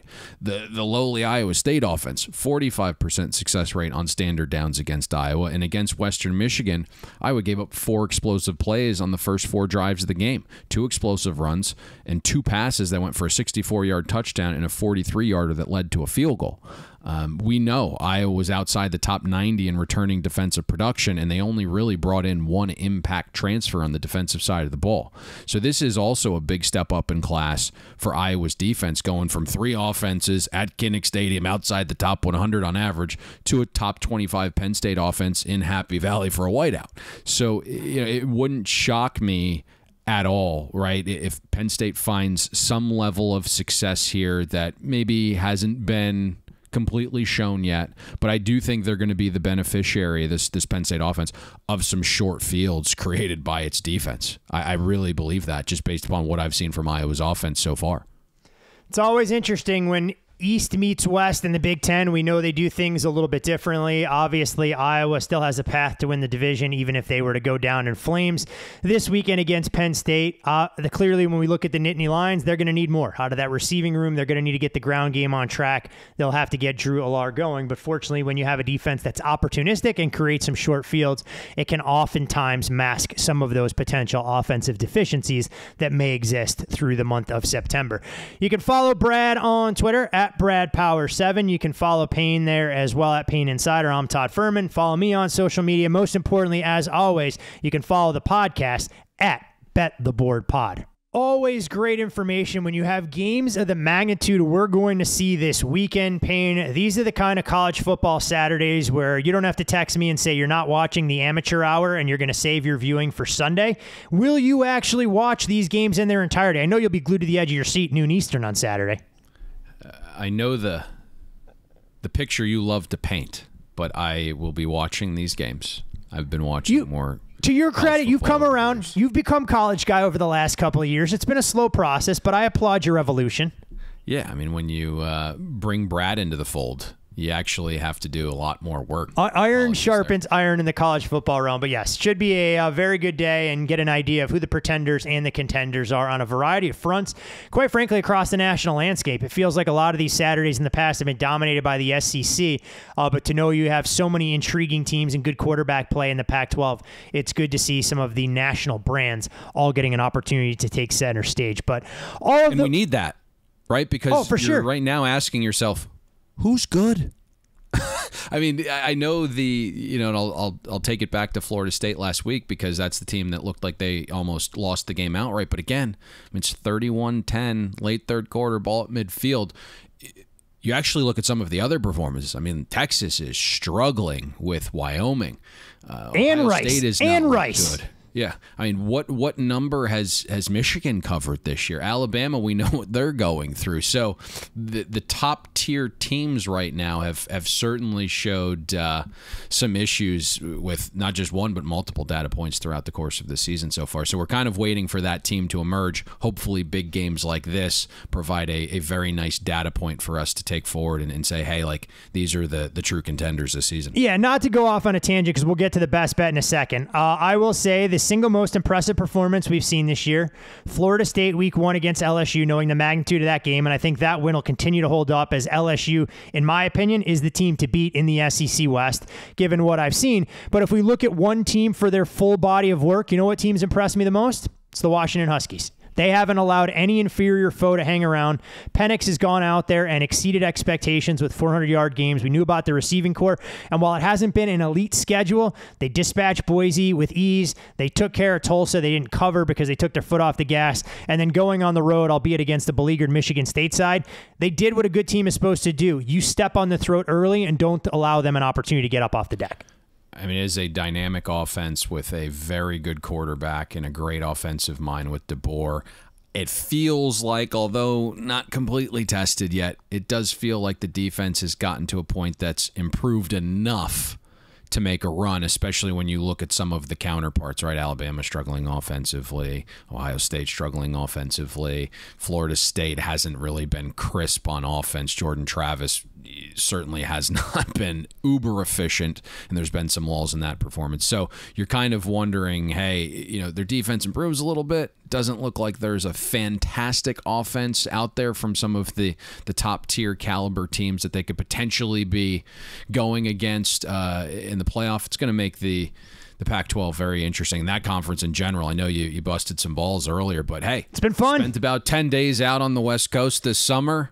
Uh, I'm not going to say I loved it, but you know, I was out there. You don't love. So the bottom line is you don't. Is, you don't love anywhere. You lo- you're you like to stay at home in your three mile radius. It doesn't matter where you go. Travel isn't truly in your DNA in any capacity. Well, I, I think I've been probably uh, if if we were to put the calculator on this, the tabulator, I've probably been in like I don't know 20 different cities so far this year. Oh, you would be my guess. You've been on the yeah, go. I've been, I've been you're, moved. You're, a, you're a man go. about town. That's what happens yes. when you're a renaissance man of sorts. You have All to try. Let's let's have to try and make your trips and uh, mosey around. jab out there. Finish the jab and let's move on. All four corners of this country. But speaking of Washington, we'll see if they have their hands full against the bad Cal team, knowing that Justin Wilcox has actually had a lot of success against this former program in the past. A couple of one-score games in recent years for better Cal teams, uh, but you know, pretty good Washington teams at the same way. All right, my friend. It's a good thing you you waited till Brad was off to take the Cal jab. Why? Does Brad? He would have. He would have refuted that. Yeah, he's high on Cal this year. I mean, I thought he was tweeting about how Cal looked terrible with their game against Auburn. I could have sworn I saw. I'm nearly certain he. Yeah, we talked about it this offseason. He was a buyer on Cal's win total over. He was a buyer against North Texas. I may have to. I may have to. I may have to get his full. I may have to get his full take uh, offer. Hey, they did cover against Auburn. You know, I am a Justin Wilcox well, apologist. North Texas too. So you know, we'll see by, a, by a long mile. Well, I think it may have had a. It may have been more indicative of Auburn than uh, a buy on Cal, but that we'll find out this weekend against Texas A&M. All right, best bet portion. We've had a very hot hand thus far, and we've done it with a lot of giant killing so far with some of the marquee games. We haven't done any of the dumpster diving. Is this the week we finally go to the G5 for a best bet Payne, or are we staying in the power conferences?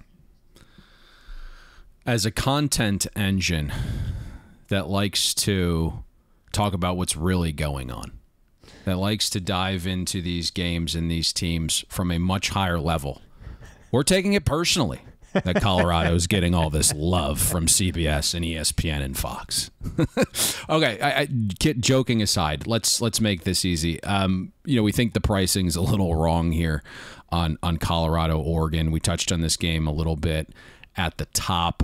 You're starting to see Colorado's offensive line deficiencies come full circle. Starting to see Shedeur Sanders struggle under pressure with a 20% passer rating there. Oregon's defensive line, while it might not be elite to an Oregon Dan Lanning um, stature that they they ultimately hope to have there, it's certainly good enough to get pressure on on Colorado and Shedeur Sanders Sanders here let's go ahead. Let's lay it in the first half. Colorado, um, Oregon minus 11 in the first half. Again, the biggest thing for us in this game is price. We make it higher. Um, I think you're also looking at Dan Lanning having the ability to prepare for a one dimensional offense without one of its top playmakers and Travis Hunter. Again, we, we, kind of put him at a value of of two points here, 1.25 on the defensive side, three quarters of a point on the offensive side. When I look at d- defensively too for for Colorado, I think that's that's their largest weakness. We saw Colorado State's offense march up and down the field through the air with a backup quarterback. Bo Nix is going to find some success here through the air. Right now, their lead corner for Colorado is Amarion Cooper very familiar with that situation. Had a great freshman year, kind of downtrended last year for Florida State. The Seminoles wanted to move him to safety this year because they felt like they had better corner options. He's now your lead corner going into Autzen against a high flying pass attack. So I think Oregon's going to score and, and score a big number here. And, uh, yeah, I think we saw some deficiencies for Colorado's offense last week as well right? I mean, how did they start that game? Slow, slow, and slower when Mo Kamara was operating at 100 miles an hour along that Rams defensive front. Yeah. So let's get out, lay it early here with with the Oregon Ducks minus 11 in the first half. Quack, quack. It's taken us a little while to get our pound of flesh from the Colorado Buffaloes. Listeners knew it was coming, and we had to go to a derivative market to be able to do so. Oregon off to a quick start. Hopefully, it's 21 0 in the blink of an eye, and we're able to kick back and watch the Ducks roll to victory over the first 30 minutes.